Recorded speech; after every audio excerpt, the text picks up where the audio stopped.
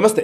Welcome to global roundup అంతర్జాతీయ పరిణామాల్ని భారతీయ దృక్కోణంలో విశ్లేషించే చర్చా కార్యక్రమం గ్లోబల్ రౌండప్ నూట యాభై మూడవ ఎపిసోడ్ సిద్ధంగా ఉంది. ఈ వారంలో జరిగిన వార్తాంశాలపై విశ్లేషించేందుకు అంతర్జాతీయ వ్యవహారాల నిపుణులు విశ్లేషకులు మామిడి గిరిధర్ గారు నేషనల్ స్టెప్ స్టూడియోలో ఉన్నారు. వారితో మాట్లాడదాం. నమస్కారం సార్ నమస్తే సాయి. నమస్తే. సార్ గిరిధర్జీ ఈ వారం గ్లోబల్ రౌండప్లోకి వెళ్ళే ముందు గత వారం నూట యాభై రెండవ ఎపిసోడ్లో వచ్చినటువంటి కొన్ని కమెంట్స్ని మనం చూద్దాం సార్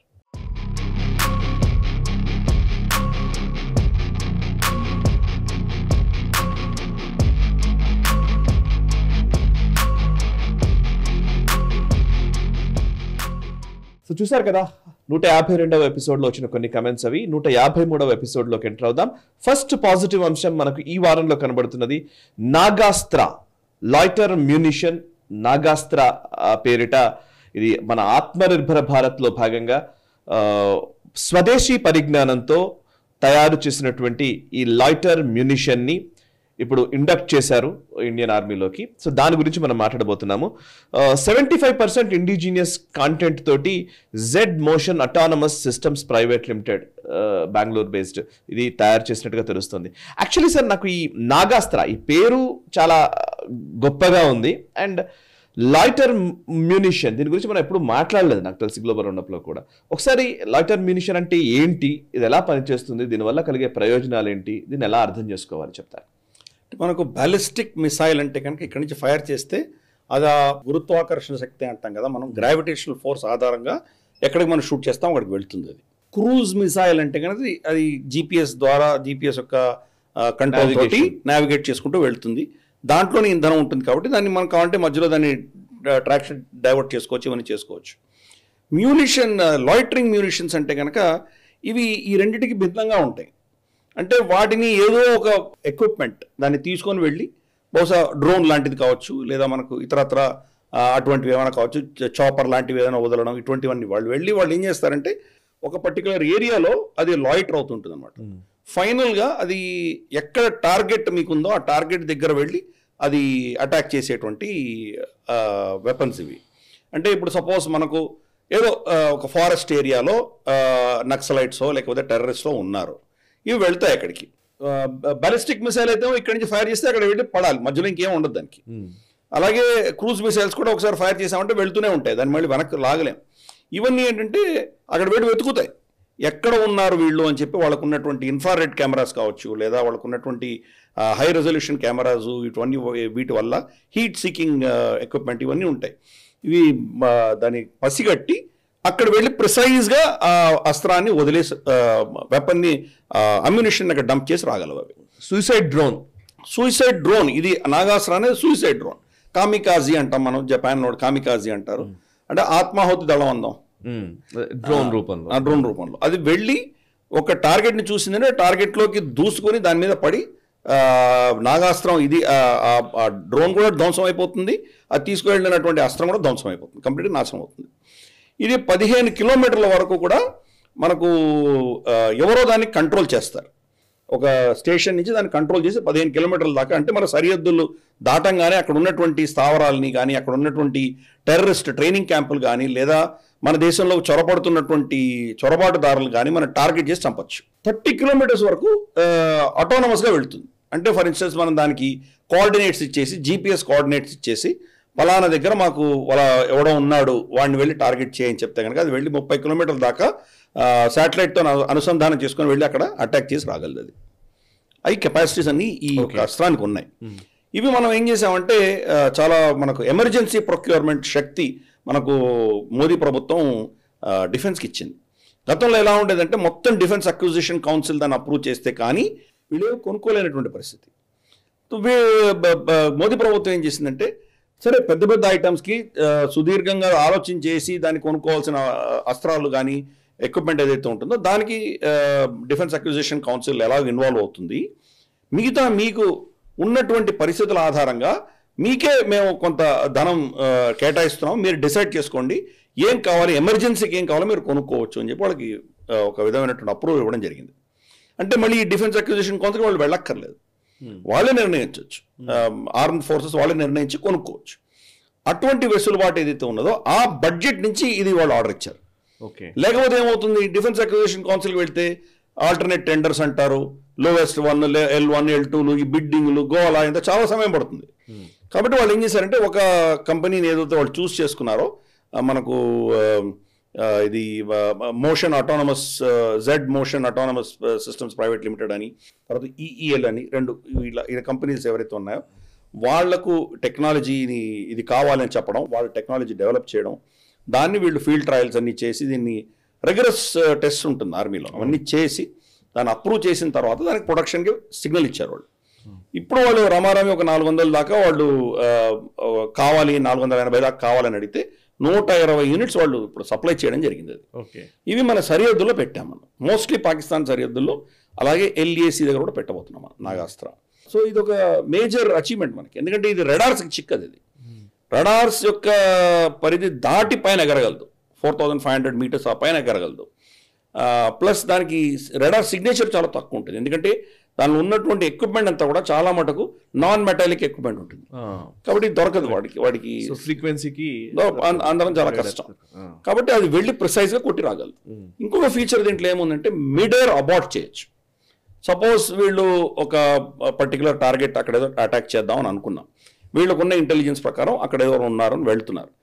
ఈ డ్రోన్ అక్కడి దాకా వెళ్ళిన తర్వాత సపోజ్ అది తప్పు మనం చేశాము లేదా ఇక్కడ అటాక్ చేయకూడదు అని వాళ్ళు నిర్ణయిస్తే అబార్ట్ చేసి మళ్ళీ వెనక్కి తీసుకొచ్చేటువంటి కెపాసిటీ కూడా దీంట్లో ఉంది. సో మిషన్ అబార్ట్ చేయొచ్చు. అదే మీరు బ్యాలిస్టిక్ మిసైల్ కానీ లేదా మీకు క్రూజ్ మిసైల్ అయితే ఇంకా అది వెనక్కి రాగరండి కరెక్టే అది మళ్ళీ వెనక్కి తీసుకోగలిగినటువంటి అస్త్రం ఇది. Very nice very nice super sir next అంశం సార్ రష్యా పర్యటనకి మోదీ వెళ్ళబోతున్నట్టుగా ఒక వార్తాంశం వచ్చింది. ఇది రష్యాకు సంబంధించిన న్యూస్ ఏజెన్సీ టాస్ ఇచ్చినటువంటి రిపోర్ట్. యూరి యుషకో ఎవరైతే పుతిన్స్ ఎయిడ్ ఆయన అనుచరుడు ఉన్నారో ఆయన చెప్పినట్టుగా కోట్ చేశారు. సో బేసికలీ జూలై రెండో వారంలో ప్రధాని నరేంద్ర మోదీ రష్యాలో పర్యటించబోతున్నారు. India Russia summit uh, uh, level talks జరగబోతున్నాయనేది ఒక అంశం. నిజానికి రెండు వేల పంతొమ్మిదిలో మొదటి మొదట ఇంతకు ముందు ఆయన రష్యా పర్యటనకు వెళ్ళారు. ఆ తర్వాత ఇప్పటి వరకు రష్యా పర్యటి రష్యాలో పర్యటించలేదు. అండ్ మధ్యలో ఏదైతే ఈ ఉక్రెయిన్ కాన్ఫ్లిక్ట్ వచ్చిన సందర్భంలో ఇది యుద్ధాలకు సమయం కాదు అని ఎస్సీఓ సమ్మిట్లో భాగంగా మోదీ కలిసినప్పుడు మాట్లాడారు. బట్ ఈరోజు ఈ ఇప్పుడు మళ్ళీ ఆయన రష్యా పర్యటనని ఎట్లా అర్థం చేసుకోవాలి? ఇప్పుడు వెస్టర్న్ వరల్డ్ ఎలా చూస్తోంది? అండ్ రష్యాకి మోదీ వెళుతున్నారు అని అంటే ఏ అంశాలు మనము ప్రాధాన్యతగా మనం తీసుకోవాల్సి ఉంటుంది? అండ్ ఈ పర్యటన ఉద్దేశము లక్ష్యాలు ఏమైనా చెప్తారా? మనకు రష్యా మనకు ఒక ఇంతవరకు గతం మరి రాబోయే రోజులు ఎలా ఉంటుందో మనకు తెలియదు. ఇంతవరకు వాళ్ళు చాలా రిలయబుల్ పార్ట్నర్గా ఉన్నారు. కరెక్ట్ ఎస్పెషలీ మన ఆయుధ సామాగ్రి కావచ్చు మన యుద్ధానికి సంబంధించినటువంటి అస్త్రశస్త్రాలు వాళ్ళ దగ్గర చాలా కొనుక్కున్నాం మనం. మన ఎయిర్ క్రాఫ్ట్స్ లిటరల్గా ఇప్పుడు రఫాయల్ రాకముందర అన్నీ వాళ్ళవే. లిటరల్గా చూస్తే కనుక ఒక మిరాజ్ టూ థౌసండ్ ఫ్రాన్స్ తీసేస్తే మిగతా అన్నీ కూడాను వాళ్ళవి రష్యా నుంచి తెచ్చుకుంది. సుకాయలు కావచ్చు మిగ్గులు కావచ్చు ఇవన్నీ కూడా అక్కడి నుంచి తెచ్చుకునేవి మనవి. హెలికాప్టర్లు కూడా రమారమి అన్ని అక్కడి నుంచే వచ్చాయి. ఇప్పుడిప్పట్లో రీసెంట్గా మోదీ ప్రభుత్వం వచ్చిన తర్వాత అమెరికా నుంచి కొన్నాం మనం. తర్వాత ఆత్మనిర్భర్ భారత్ దృష్ట్యా ప్రచండ ఇటువంటివన్నీ మనం భారతదేశంలో తయారు చేసుకోవడం మొదలుపెట్టాం. కానీ ఇప్పటికి కూడా రమారమి అరవై డెబ్బై శాతం మన ఎక్విప్మెంట్ అంతా కూడా అక్కడి నుంచి తెచ్చుకునేవే కాబట్టి ఆ సప్లై చైన్ దెబ్బతినిందంటే కనుక మన భారతదేశపు సెక్యూరిటీ మన రక్షణ రంగానికి సంబంధించి మనం ఎక్కడో దెబ్బతినేటువంటి ప్రమాదం ఉంది. ఇప్పుడు రేపటి రోజు మనకు చైనాతో కానీ పాకిస్తాన్తో కానీ యుద్ధం వస్తే ఈ సప్లై చైన్ మనకు కనుక డిస్రప్ట్ అయిందంటే మనం వాళ్ళతో యుద్ధం చేయలేనటువంటి పరిస్థితి. గతంలో చూసాం ఈవెన్ చిన్న లోకలైజ్డ్ యుద్ధం అయినటువంటి కార్గిల్లో కూడా మనకు మందు సామాగ్రి లేక చాలా అవస్థపడ్డాం. అప్పుడు ఇజ్రాయెల్ మనకు సప్లై చేసింది. కాబట్టి ఈ యొక్క రిలేషన్షిప్ అన్నది మనకు చాలా కీలకమైంది.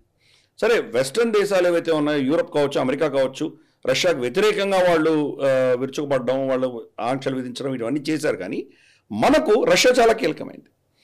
గత రెండేళ్ళుగా ఈవెన్ మన ఎనర్జీ సెక్యూరిటీ కూడా వాళ్ళు చాలా కీలకంగా ఉన్నారు. ఎందుకు? మనకు గతంలో సౌదీ అరేబియా నుంచి ఇతరత్ర గల్ఫ్ దేశాల నుంచి మనం కొనుక్కుంటున్నటువంటి చమురు ఏదైతే కొన్నామో దాన్ని ఈ రోజు మనం రష్యా నుంచి కొంటున్నాం. కరెక్ట్. రష్యా మనకు నంబర్ వన్ సప్లయర్గా ఉన్నారు.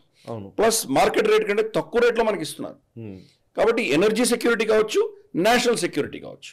ఈ రెండు సెక్యూరిటీస్ కూడా రష్యా చాలా కీలకమైంది వాళ్ళని ఇగ్నోర్ చేయలేనటువంటి పరిస్థితి. భారతదేశానికి రష్యాకి ఒక ఒప్పందం ఏముందంటే ప్రతి సంవత్సరము వీళ్ళ అధినేతలు ఎవరైతే ఉన్నారో కలవాలి. ఈ సంవత్సరం భారతదేశంలో కలిస్తే వచ్చే సంవత్సరం రష్యాలో కలవాలి. ఇలా వాళ్ళకి మధ్యలో ఒప్పందం ఉండేది. కరోనా వచ్చిన తర్వాత కొంత కొంత అది ఆగిపోవడం జరిగింది అది. మధ్యలో వీళ్ళు ఎక్కడో ఉజ్బెకిస్తాన్లో వీళ్ళన్నీ కలిశారు కానీ ఈ బయలాటరల్ చర్చ అన్నది ఇది జరగలేదు తర్వాత. ఎస్పెషలీ యుక్రెయిన్ యుద్ధం మొదలైన తర్వాత ఇది జరగలేదు. మొదటిసారి యుక్రెయిన్ యుద్ధం వచ్చిన తర్వాత మోదీ గారు వెళ్తున్నారు. దీంట్లో కూడా చాలా సిగ్నిఫికెంట్ ఏంటంటే ఆయన మూడోసారి ప్రమాణ స్వీకారం చేసిన తర్వాత ఇటలీకి వెళ్ళొచ్చారు G seven summit G seven summit అన్నది ద్వైపాక్షిక చర్చలు కాదు అక్కడ. జీ సెవెన్ సమ్మిట్లో ఈయన అబ్జర్వర్గా వెళ్ళొచ్చారు. సరే అక్కడ చాలా మందిని కలిశారు అది వేరే విషయం. కానీ ఆయన వ్యక్తిగతంగా ఏదైనా దేశానికి మొట్టమొదటిసారి పర్యటన చేస్తున్నారు అంటే అది రష్యా. రష్యాకి వెళ్తున్నారు. రష్యా ఎంత కీలకం మనం అర్థం చేసుకోవచ్చు. అంతకంటే ముందు అఫ్ కోర్స్ షేక్ హసీనా భారతదేశానికి వచ్చారు ఆవిడ. మన ఒప్పందాలు కొన్ని చేసుకున్నాము. విదేశీ నేత ఎవరైనా వచ్చారంటే ఆవిడ వచ్చింది అది. కానీ ఈయన మొదటి పర్యటన రష్యాకి వెళ్తున్నారు. అంటే ఎంత కీలకమో మనం అర్థం చేసుకోవచ్చు. ఇన్ఫ్యాక్ట్ ఇదే సమయంలో రష్యా ఇంకోటి కూడా అనౌన్స్ చేసింది. వాళ్ళు ఏం చెప్పారు? నార్త్ సౌత్ ట్రాన్సిట్ కారిడోర్ ఏదైతే ఉందో ఎన్ఎస్టిసి అంటాం మనం దాని గుండా రెండు ట్రైన్స్. బొగ్గు పంపిస్తున్నారు వాళ్ళు. అవి రమారమి ఇరవై మూడు రోజులు పడుతుంది మనకి. అదే కనుక వాళ్ళు రెడ్ సీ నుంచి మన సూయస్ కెనాల్ నుంచి రావాలంటే రమారమి నలభై ఐదు నలభై ఆరు రోజులు పడుతుంది. అంటే మూడు వారాలు మనం సేవ్ చేయగలుగుతున్నాం. గతంలో ఆల్రెడీ కొంత టింబర్ మనకు చెక్కలు అవన్నీ వచ్చాయి. ఇదే రూట్లో వచ్చేది. ఇది రెండవసారి జరుగుతున్నది. కానీ బొగ్గు మొదటిసారి వస్తున్నది.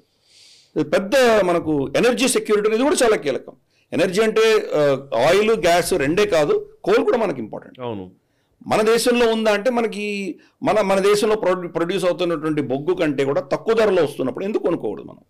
యాక్చువల్లీ ఇప్పుడు మొన్న కోల్ ఆప్షన్స్ టైంలో విదేశాల నుంచి దిగుమతి చేసుకుంటున్నాము. దానివల్ల ఎక్కువ కాస్ట్ అవుతుంది.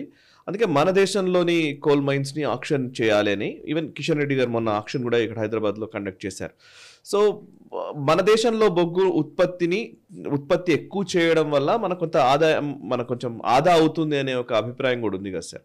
మళ్ళీ ఇప్పుడు రష్యా నుంచి తక్కువ రేట్ కని అంటున్నారు మీరు. హౌ అంటే మనం గతంలో కొన్నటువంటి బొగ్గు ఎక్కడి నుంచి కొన్నామో ఆ దేశాలు చాలా ఎక్కువ రేట్లు వేసాయి మనకి.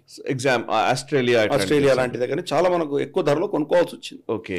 దాంతో పోలి చూస్తే రష్యా నుంచి మనకు చాలా తక్కువ రేట్లో వస్తుంది. ఓకే. మొదటిది మొదటిది. రెండవది ఈ ఆక్షన్లు ఏవైతే చేస్తున్నారో దీని యొక్క గుణం చూడడానికి మనకి ఇంకా చాలా రోజులు పడుతుంది. వాళ్ళు ఇన్వెస్ట్ చేయాలి అక్కడ. ఇన్వెస్ట్ చేసి దానికి ఈ టెండర్లు వాళ్ళకు వాళ్ళు కనుక నిజంగా వాళ్ళు ఆ టెండర్లో గెలవగలిగితే ఎక్విప్మెంట్ తీసుకెళ్ళాలి ఎస్టాబ్లిష్మెంట్ పెట్టుకోవాలి ప్రొడక్షన్ ప్రొడక్షన్ చేయాలి. చాలా సమయం పడుతుంది. అంతవరకు మన ఎనర్జీ సెక్యూరిటీ ఏమవుతుంది మనకి? సో అది చాలా కీలకం. ఇంకొక విషయం దీంట్లో ఏముందంటే కనుక యూరోప్ రష్యా మీద ఆంక్షలు విధించడంతో వాళ్ళ కోల్ ఇండస్ట్రీ దెబ్బతినింది. ఓకే ఉద్యోగాలు పోయేటువంటి ప్రమాదం ఉంది. వాళ్ళు చైనా మీదో లేదా భారతదేశం మీదో డిపెండ్ అవుతున్నారు వాళ్ళు. సో ఇది మ్యూచువల్ డిపెండెన్స్ వాళ్ళు బొగ్గు ఎవరికో అమ్ముకోవాలి మనకు ఆ బొగ్గు అవసరం ఉన్నది. మనం కొనుక్కుంటున్నాం మనం.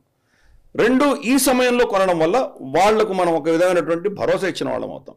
రేపటి రోజు మనకి ఏమైనా ఇబ్బంది వస్తే కనుక వాళ్ళు మనకు సహాయం చేస్తారన్నటువంటి ఒక దృక్పథంతో మేము చేస్తున్నాం మనం. ఎందుకంటే మనకు పాకిస్తాన్ తోటి చైనా తోటి కలిసి టూ ఫ్రంట్ వార్ వచ్చే సూచనలు ఎక్కువగా కనిపిస్తున్నాయి మనకి. పాకిస్తాన్కి అంత సీన్ లేకపోవచ్చు. కానీ పాకిస్తాన్కి వీళ్ళు ఫండింగ్ ఇచ్చి ఎక్కువ ఎక్విప్మెంట్ ఇచ్చి బార్డర్ రోడ్ బార్డర్ ప్రాంతాలన్నీ కూడా చైనా డెవలప్ చేస్తుంది వాళ్ళకి. బంకర్స్ పెడుతున్నారు. డీప్ స్టీల్ బంకర్స్ అన్ని పెడుతున్నారు. సరిహద్దు ప్రాంతాల్లో ఎల్ఓసికి ఆవలి వైపు. ఎందుకంటే వాళ్ళ మనకు చైనా పాకిస్తాన్ ఎకనామిక్ కారిడోర్ని ప్రొటెక్ట్ చేసుకోవడానికి చైనాకి ఇవి సహాయం చేస్తున్నారు. అలాగే వాళ్ళకి సబ్మెరీన్స్ ఇచ్చారు షిప్పులు ఇచ్చారు ఎయిర్ క్రాఫ్ట్లు ఇచ్చారు. చాలా ఇచ్చింది చైనా. కాబట్టి రేపటి రోజు మనకు చైనాతో యుద్ధం వస్తే వాళ్ళు పాకిస్తాన్ కూడా వాడుకుంటారు. కాబట్టి ఈ రెండు టూ ఫ్రంట్ వార్ వచ్చినప్పుడు మన పరిస్థితి ఏంటి? దానికి కావాల్సినటువంటి తయారీ మనం చేసుకుంటున్నాం మనం. కరెక్ట్. రష్యా అందుకని మనకు చాలా కీలకం. పైపెచ్చు మనకు మనకు ఎస్పెషలీ గుజరాత్ అక్కడంతా ప్రాంతంలో ఏదైతే మనకు డైమండ్ ఇండస్ట్రీ ఉన్నదో అది కూడా రష్యా మీద చాలా డిపెండ్ అయింది. రష్యన్ అన్కట్ డైమండ్స్ ఏవైతే ఉంటాయో అక్కడి నుంచి వచ్చిన సైబీరియా నుంచి వస్తాయి అవి. వాటిని మనం కట్ చేసి పాలిష్ చేసి రిఫైన్డ్ కట్ డైమండ్స్ కింద మనం ప్రపంచవ్యాప్తంగా అమ్ముకోగలుగుతున్నాం మనం. సో ఈ ఇండస్ట్రీస్ అన్ని కూడా మనకు చాలా కీలకం.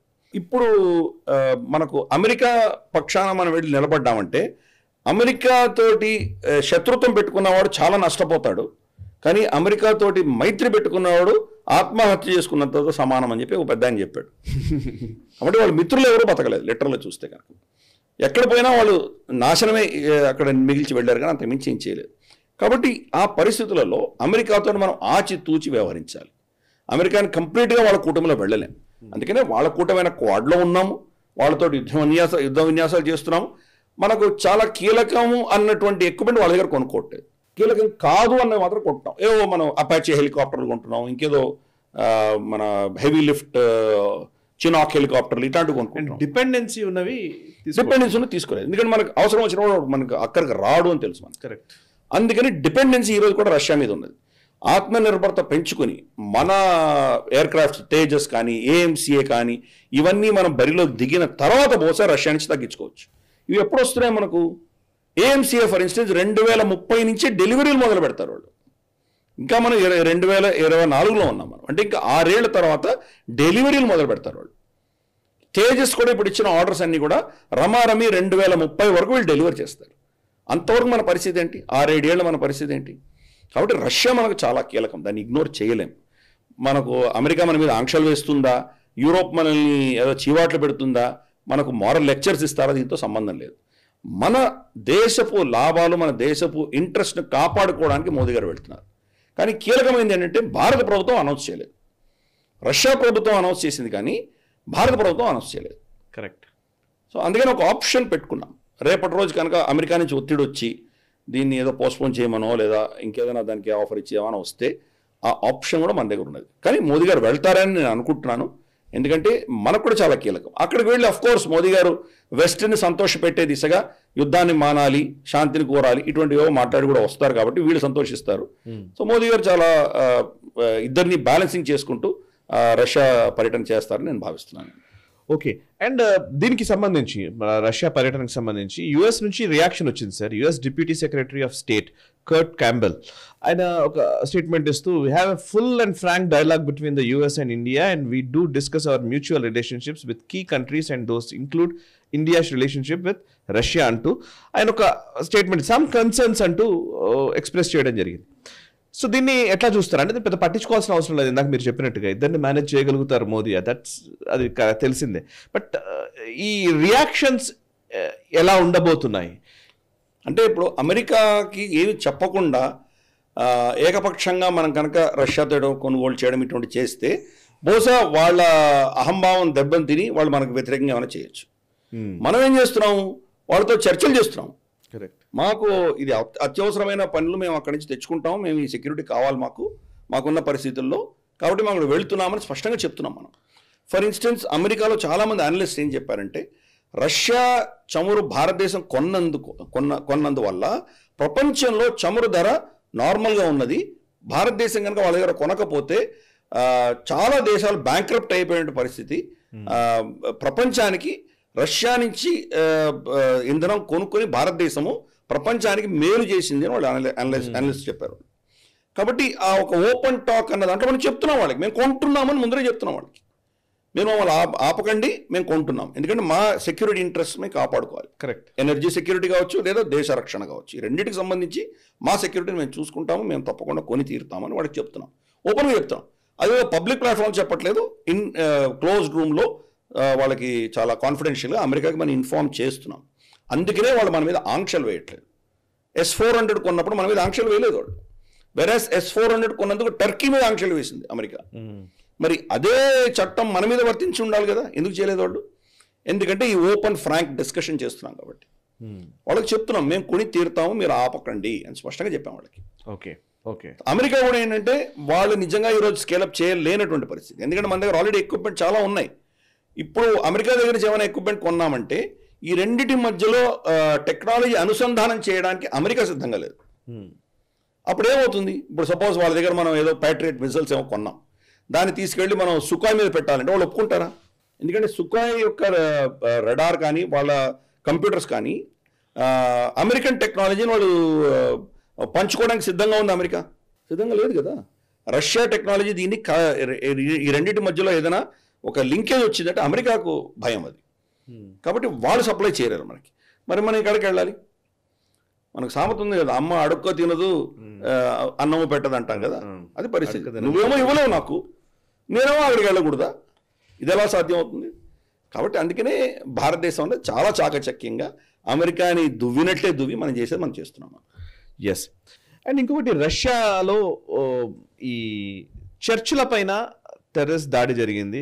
గన్మెన్ ఓపెన్ ఫైర్ అని చెప్తున్నారు. యాక్చువల్లీ ఏ ఆర్గనైజేషన్ అనేది ఇంకా క్లెయిమ్ చేయలేదు.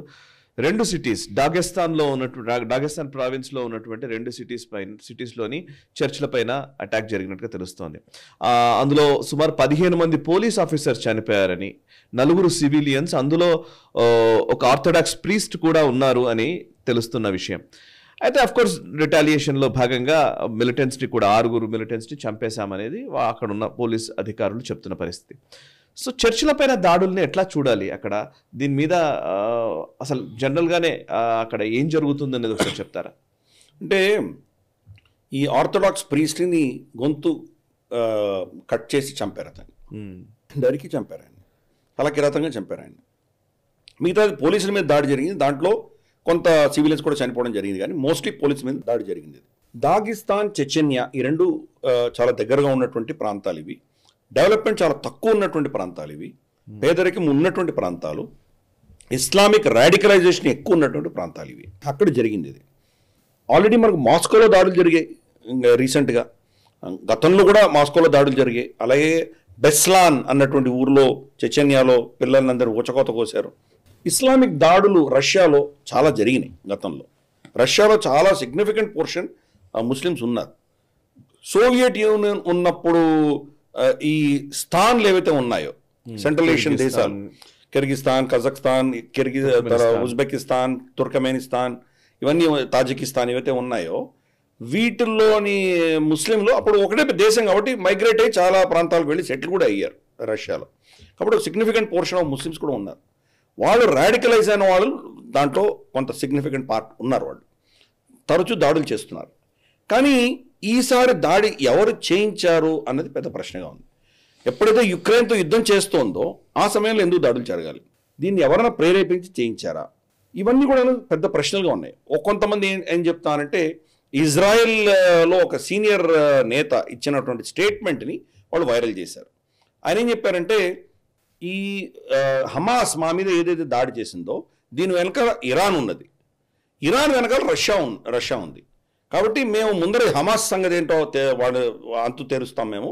తర్వాత రష్యా మీద కూడా మేము ఏదో ఒకటి చర్య చేసి తీరుతామని చెప్పి స్టేట్మెంట్ ఇచ్చాడు we will come after you అని చెప్పాడు ఆయన. ఓకే కాబట్టి ఈ దాడులు మరి ఇజ్రాయెల్ చేయిస్తోందా అని ఒక ప్రశ్న ఉన్నది కాకపోతే అటాక్ సెనగాగ్ మీద జరిగింది. జూయిష్ సెనగాగ్ మీద జరిగింది. ఓకే అక్కడ జూలు చాలా మంది వెళ్ళిపోయారు కానీ దాని మీద జరిగింది.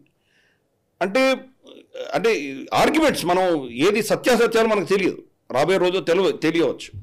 వీడేం చెప్తున్నారంటే అనలిస్ట్ ఏం చెప్తున్నారంటే సెనగాగ్ మీద కూడా అటాక్ జరిగింది కాబట్టి ఇజ్రాయెల్ చేయలేదు అని అందరూ అనుకుంటారు అని చెప్పి వీళ్ళు అలా చేశారు అని చెప్పి వీళ్ళ వర్షన్ ఒక ఒక వర్గం వర్షన్ అది. ఇంకొకటి ఏం చెప్తారంటే ఐసిస్ లాంటి టెర్రరిస్ట్ ఆర్గనైజేషన్స్ని ఇస్లామిక్ టెర్రరిస్ట్ ఆర్గనైజేషన్స్ని అమెరికా వాడుకొని దాడులు చేయిస్తోంది. ఈ యుక్రెయిన్లో వాళ్ళు ఏం గెలవలేకపోతున్నారు రష్యాని ఏం చేయలేకపోతున్నారు కాబట్టి రష్యాలో వాళ్ళ దేశంలో అంతర్గతంగా కలహాలు తీసుకొచ్చి ఈ అటాక్స్ చేసి వాళ్ళని లోపల వాళ్ళ దేశంలో వాళ్ళని బలహీనపరిచే దిశగా అమెరికా చేస్తోంది అని అంటున్నారు. ఇవన్నీ కూడా రష్యా ప్రస్తుతానికి నోరు మెదలపలేదు. రష్యా కనుక వాళ్ళ ఇన్వెస్టిగేషన్లో ఎవరు చేశారో అని బయట చెబితే దాని రిప్రికాషన్స్ ఎలా ఉంటాయో మనకు తెలియదు. దీని వెనకాల అమెరికా ఉన్నది సిఐఏ ఉన్నది అని కనుక వాళ్ళు నిర్ధారిస్తే మరి అది that's a direct war NATO war declare చేసినట్టు అవుతుంది. కరెక్ట్ మరి అప్పుడు పరిస్థితి ఏమవుతుంది? కరెక్ట్ కొన్ని ఫార్వర్డ్ వాళ్ళ బార్డర్ దగ్గరగా ఉన్నటువంటి కొన్ని పట్టణాల్లో డ్రోన్ అటాక్స్ జరిగినాయి. కొన్ని వ- వి- కొన్ని వర్గాలు కొంతమంది అనలిస్ట్ ఏం చెప్తున్నారంటే ఎస్టోనియా నుంచి వచ్చాయని చెప్తున్నారు. ఎస్టోనియా అనేది ఇప్పుడు నేటో దేశం అది. అంటే అక్కడి నుంచి దాడి జరిగిందంటే నేటో డైరెక్ట్గా రష్యా మీద అటాక్ చేసినట్టు అవుతుంది. మరి ఇప్పుడు రష్యన్ రియాక్షన్ ఏముంటుంది అది? అవును. ఎక్కడికి ఎస్కలేట్ అవుతుంది ఇది? ఆల్రెడీ మనకు వచ్చిన ఇన్ఫర్మేషన్ ప్రకారం వాళ్ళ న్యూక్లియర్ వెపన్స్ ఏవైతే ఉన్నాయో వాటిని చాలా మటుకు మళ్ళీ టెస్ట్ చేసి ఎందుకంటే ఎప్పుడో పాత దాచిపెట్టుంటారు కదా. వాళ్ళు అటాక్ చేయడానికి కావాల్సిన దిశగా రష్యా ఆల్రెడీ వాటిని సన్నద్ధం చేసిందని మనం వింటున్నాం మనం. మరి ఇది ఎక్కడికి దారి తీస్తుందో మనకు తెలియదు. ఫైనల్గా రష్యా ఎవరు దోషులను చెప్తుందో దాని ఆధారంగా మనం నిర్ణయించాలి. సపోజ్ అది అంతర్గతమైనటువంటి శత్రువులే రాడికలైన అయినటువంటి ముస్లిమ్స్ అంటే కనుక ప్రపంచం ఊపిరి తీసుకోవచ్చు. లేదు ఇజ్రాయెలో అమెరికానో చేయించారు అంటే కనుక మరి ఈ పరిస్థితులు ఎక్కడికి వెళ్తాయో మనం చెప్పలేము చాలా డేంజరస్ టర్న్ వచ్చేటువంటి ప్రమాదం ఉంది ఓకే. రైట్ సార్ ఇక యుఎస్ ప్రెసిడెన్షియల్ ఎలక్షన్స్కి సంబంధించిన అప్డేట్స్లోకి వెళదాం. నేనైతే ఆ వీడియో చూస్తూ నేను కూడా ఆశ్చర్యపోయాను యాక్చువల్లీ వాళ్ళ డిబేట్స్కి సంబంధించి. యాక్చువల్లీ ట్రంప్ రిలీజ్ చేసిన వీడియో అయితే ఇంకా అసలు ట్రంప్ అండ్ బైడెన్ మధ్య ఫస్ట్ ప్రెసిడెన్షియల్ డిబేట్ జరిగింది సిఎన్ఎన్ హెడ్ క్వార్టర్స్లో సో దానికి సంబంధించి బైడెన్ చాలా వరకు వెనుకబడినట్టుగానే ఉన్నారు. చాలా సార్లు ఫంబుల్ అవుతూ ఉన్నారు. ఆయన ఏం మాట్లాడుతున్నారో కూడా చాలా సార్లు అర్థం కావట్లేదు. ట్రంప్ మాత్రం చాలా హార్డ్ హీటింగ్ ప్రసంగం లాగానే కనిపించింది. ఆయన చాలా వరకు బైడెన్ ఇరుకున పెట్టే విధంగా మాట్లాడారు. అండ్ ఒక్కొక్క ఒక సందర్భంలో అయితే అసలు భారత ఐ మీన్ అమెరికన్ అమెరికా పరువు తీసే పరిస్థితిలోకి బైడెన్ అడ్మినిస్ట్రేషన్ వచ్చింది అనే దాకా వెళ్ళిపోయారు. ఒకసారి ఫస్ట్ ప్రెసిడెన్షియల్ ఫేస్ ఆఫ్ని ఎట్లా చూస్తారు మీరు? మీ అనాలిసిస్ ఏంటి? అంటే మనకు ఈ నా ఈ ప్రెసిడెన్షియల్ డిబేట్ ఏదైతే అయిందో ఎప్పుడు జరిగింది అనేది చాలా కీలకం. నార్మల్గా ఈ ప్రెసిడెన్షియల్ డిబేట్స్ అనేవి మనకు సెప్టెంబర్ అక్టోబర్లో ఉంటాయి. ఎన్నికలకి ఒక నెల రెండు నెలల ముందర ఉంటాయి. అప్పుడే వాడి వేడి ఉంటుంది. ఇంత ముందస్తుగానే చేయడం వల్ల ఇది ఎలక్షన్ వచ్చేసరికి ఇది అందరూ మర్చిపోయి ఉంటారు. కానీ ఇప్పుడు ఎందుకు చేశారు? ఇదో పెద్ద ప్రశ్న. ట్రంప్కి దీనివల్ల లాభం ఏంటి? ఎందుకంటే ట్రంప్ రేపటి రోజు అతనికి కన్విక్షన్ రాబోతున్నది. కోర్టు అతని నేరారోపణ ఆల్రెడీ అయిపోయింది. ఇప్పుడు శిక్ష నిర్ణయించాలి కోర్టు. శిక్షించి అతని జైలుకి పంపిస్తే ఈ డిబేట్ చేయలేడు అతను. కాబట్టి తనకు జై- జైలు వెళ్ళక ముందరే డిబేట్ చేసేద్దామని అతనికి ఆలోచన ఉండొచ్చు. బైడెన్కి డెమోక్రాట్ పార్టీకి వాళ్ళు వాళ్ళ ఉద్దేశం ఏంటంటే ఒక విషయం గుర్తుపెట్టుకోవాలి. వీళ్ళిద్దరినీ కూడా వాళ్ళ పార్టీలు నామినేట్ చేయలేదు ఇంకా. వాళ్ళ డెమోక్రాట్ పార్టీ కానీ రిపబ్లికన్ పార్టీ. అఫీషియల్గా వాళ్ళని చేయలేదు. వాళ్ళ కన్వెన్షన్స్ ఉంటాయి. ఆ. కన్వెన్షన్స్లో అనౌన్స్ చేస్తారు. డెమోక్రాట్ కన్వెన్షన్ వచ్చి ఆగస్ట్ చివరిన ఉంది. రిపబ్లికన్ కన్వెన్షన్ వచ్చి జూలైలో ఉన్నది. అనౌన్స్ కాలేదు. ఇద్దరు అనౌన్స్ కాకుండానే డిబేట్కి వచ్చారు వీళ్ళు. ఈ విషయం అర్థం చేసుకోవాలి. రే- డెమోక్రాట్స్ ఏం చేస్తున్నారంటే జో బైడెన్ నిజంగా ట్రంప్ని ఎదుర్కోగలడా? అతనికి ఉన్నటువంటి కాగ్నేటివ్ అబిలిటీస్ అతనికి ఉన్నటువంటి మానసిక స్థితి ఆధారంగా నిజంగా ట్రంప్ని ఎదుర్కోగలడా లేదా అన్నది వీళ్ళు టెస్ట్ చేస్తున్నారు డెమోక్రాట్స్. మనకి ఇప్పుడు అర్థమైందంటే సిఎన్ఎన్ మొత్తం కంప్లీట్ డెమోక్రాట్ పార్టీకి సపోర్ట్ చేస్తున్నటువంటి సిఎన్ఎన్ వాళ్ళు కండక్ట్ చేశారు ఇది. వాళ్ళ సర్వేలోనే సిక్స్టీ సెవెన్ పర్సెంట్ ట్రంప్ గెలిచాడు ముప్పై మూడు శాతమే బైడెన్ గెలిచాడని వాళ్ళ సర్వే చెప్తుంది. ఏంటి? వాళ్ళ సపోర్టర్స్ అందరూ డెమోక్రాట్ సపోర్టర్స్. ఈ పేరిట బైడెన్ని తప్పించే అవకాశం కూడా లేకపోలేదు. అందుకోసమే చేశారు అని ఒక వర్గం చెప్తుంది. ఇప్పుడు అర్థమైపోయింది. ఈయనకి మాట్లాడే కెపాసిటీ లేదు. మనస్సు ఎక్కడో ఉన్నది. ఈయనకి ఆలోచన దృక్పథం అంతా క్షీణించింది. వృద్ధుడైపోయాడు. నిజంగా ట్రంప్ లాంటి వ్యక్తిని ట్రంప్ కూడా పెద్ద వయసు తక్కువే లేదు. ఆయన కూడా డెబ్బై ఎనిమిది ఏళ్ళు ఉన్నాయి. కానీ ఇద్దరిలో కంపేర్ చేస్తే ఆయన ఇంకా చాలా మాట్లాడగలుగుతున్నాడు. ఆయన తప్పు మాట్లాడా సత్యం మాట్లాడా పక్కన పెడదాం.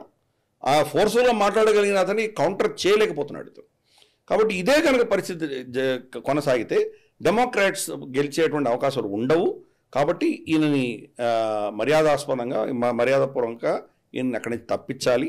ఇంకెవరినైనా పెట్టాలి. దాంట్లో రెండు మూడు పేర్లు వచ్చాయి. అండ్ ఈవెన్ ట్రంప్ ఎనర్జీస్ అంతా కూడా బైడెన్ చుట్టూతానే తిరుగుతున్న క్రమంలో కొత్త వ్యక్తి వచ్చినప్పుడు మళ్ళీ మళ్ళీ మళ్ళీ ఫ్రెష్ ఫేస్ కాబట్టి అది బహుశా ట్రంప్ యొక్క పాపులారిటీ తగ్గిపోయి అతని దగ్గర వెళ్ళేటువంటి అవకాశం. అవకాశాలు ఉన్నాయి. సో రెండు మూడు పేర్లు అనుకుంటున్నారు. దాంట్లో మిషేల్ ఒబామా ఆ, ఒకటి. రెండవది మనకు కమలా హ్యారిస్ అని అనుకుంటున్నారు. అలాగే ఇంకెవరో ఇంకొక వ్యక్తి ఇలా ముగ్గురు పేరు అనుకుంటున్నారు వాళ్ళు. అదే సిఎన్ఎన్ ఫస్ట్ ఉమెన్ ప్రెసిడెంట్ అయ్యే అవకాశం కూడా లేకపోలేదు మరి. ఒక కూడా రావచ్చు. ప్రయత్నాలు చేస్తున్నారు వాళ్ళు.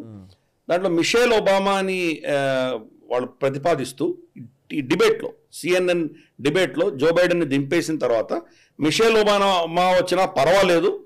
ఇతను మాట్లాడలేకపోతున్నాడు. కాబట్టి కనీసం ఆవిడ రావాలి అని మైక్ అని పేరు పిలిచాడు.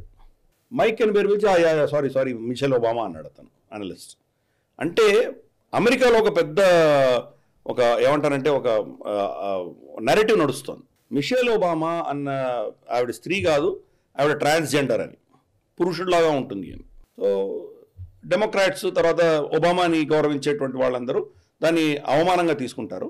కానీ ఆ నెరేటివ్ నడుస్తుంది. సిఏ సిఎన్ఎన్లోనే ఆ స్టేట్మెంట్ ఇవ్వడం. Let Mike contest I mean Michelle Obama contest okay అంటే చాలా క్లియర్గా వాళ్ళు చెప్తున్నారు. మగవాడు అన్నట్టు వాళ్ళు చెప్పుకుంటున్నారు.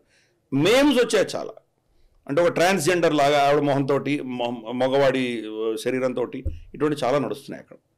సో ఎనీవే మిషేల్ ఒబామా తీసుకురావాలా? లేదా కమలా హ్యారిస్ని తీసుకురావాలా? కమలా హ్యారిస్ని తీసుకొస్తే ఆవిడ చాలా అన్పాపులర్ అని అందరికీ తెలుసు. కానీ కనీసం బైడెన్ కంటే కొంత మెరుగే కదా మాట్లాడగలదు ఆవిడ. ఏదో కనీసం ఏదో మాట్లాడగలదు. స్క్రిప్ట్ ఇస్తే చదవగలదు ఏదో చేయగలదు. అంటే మనం అర్థం చేసుకోవాల్సిన విషయం ఏంటంటే జో బైడెన్ ఉన్నా మిషేల్ ఒబామా ఉన్నా లేదా కమలా హ్యారిస్ ఉన్నా వెనకాలండి చక్రం తిప్పేది ఆ దేశాన్ని నడిపించేది ఒబామా అని అర్థం చేసుకోవాలి. సో ఇప్పుడు మనకు మోదీ గారికి ఎలాగైతే మోదీ త్రీ పాయింట్ ఓ అంటున్నామో అలాగా ఒబామా వన్ పాయింట్ జీరో వచ్చి రెండు టర్మ్స్ చేశాడు ఆయన. టూ టూ పాయింట్ ఓ వచ్చి జో బైడెన్. జో బైడెన్కి ఏం చేస్తున్నాడో ఆయనకే తెలియదు మొత్తం వెనకాల నుండి ఒబామా నడిపించాడు. ఇప్పుడు త్రీ పాయింట్ టూ బహుశా ఆయన భార్య గెలిచినా కమలా హ్యారిస్ గెలిచినా ఆయన చక్రం తిప్పేటువంటి పరిస్థితి ఈరోజు. కాబట్టి మనకి ఎలాగైతే మన దేశంలో కూడా చూసాం మనం యూసుఫ్ పఠాన్ ఫర్ ఇన్స్టెన్స్ గుజరాత్ నుంచి ఆయన బెంగాల్కి వెళ్ళి గెలిచాడు. బెంగాలీ ముక్క మాట రాదు ఆయనకి. ఎలా గెలిచాడు అక్కడికి? అలాగే రాహుల్ గాంధీ. ఎక్కడ నార్త్ ఇండియా? మలయాళం ఒక్క ముక్క రాదు. వయనాడు ఎలా గెలిచాడు ఆయన? అంటే ఒక విధమైనటువంటి ఓటర్ బేస్ ఏదైతే తయారైందో ఎవరికైనా వాళ్ళు ఆ, ఎవరికి ఓటు వేయాలో దాన్ని వాళ్ళు కంట్రోల్ చేసే శక్తులు ఉన్నాయి ఫర్ ఇన్స్టెన్స్ మనకు ఇందోర్లో చూసాం మనం. కరెక్ట్ ఇందోర్లో మనకు కాంగ్రెస్ క్యాండిడేట్ లాస్ట్ మినిట్లో విత్డ్రా అయిపోయేసరికి పంతొమ్మిది శాతం నోటాకు వేశారు.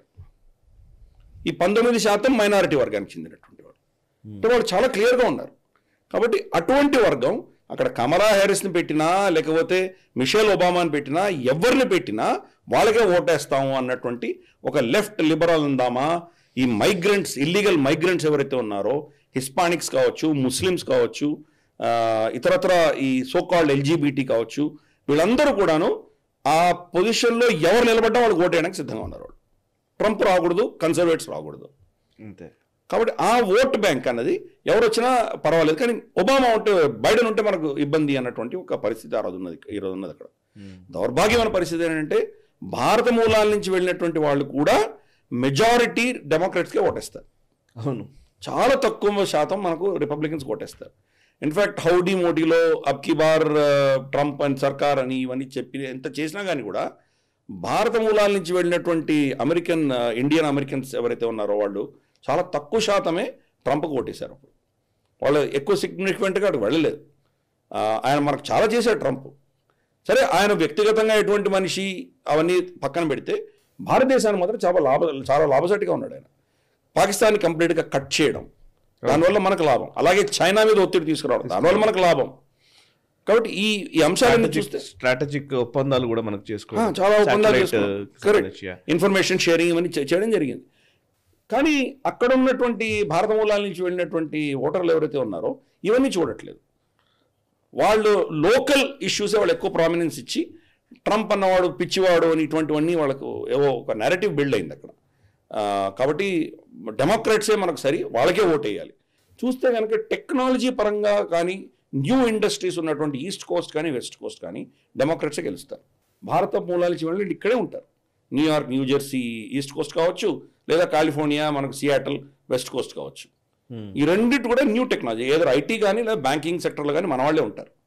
ఈ వీళ్ళందరూ కూడా డెమోక్రాట్స్గా ఓటేస్తారు. అది ఒక పరిస్థితి అది. చూద్దాం ఈసారి ఎలా ప్రవర్తిస్తారో చూద్దాం. మరి బైడెన్ కనుక కంటిన్యూ అయితే బైడెన్కే వీళ్ళు మళ్ళీ ఓటేశారంటే మళ్ళీ వీళ్ళ మానసిక స్థితి కూడా మనం ప్రశ్నించవలసి వస్తుంది. ఓకే. రైట్ సార్ ఇక ప్రతి సంవత్సరం లాగానే ఇప్పుడు కూడా మళ్ళీ United States commission on international religious freedom ఒక రిపోర్ట్ ఇచ్చింది. ఆ రిపోర్టు ఆ, చెత్తబుట్టలో వేయాలి. బట్ డిస్కషన్ కూడా చేయాలి. ఎందుకంటే ఇట్లాంటివి జరుగుతున్నాయని ప్రజలకు కూడా చెప్పడం అవసరం కాబట్టి. రిలీజియస్ ఫ్రీడమ్ అనేదే ఒక పెద్ద ఫార్స్. నిజానికి మాట్లాడితే దాని మీద చాలా విషయాలు మనం ఇంతకు ముందు కూడా మాట్లాడాము చాలా విషయాలు చెప్పాల్సినవి ఉన్నాయి.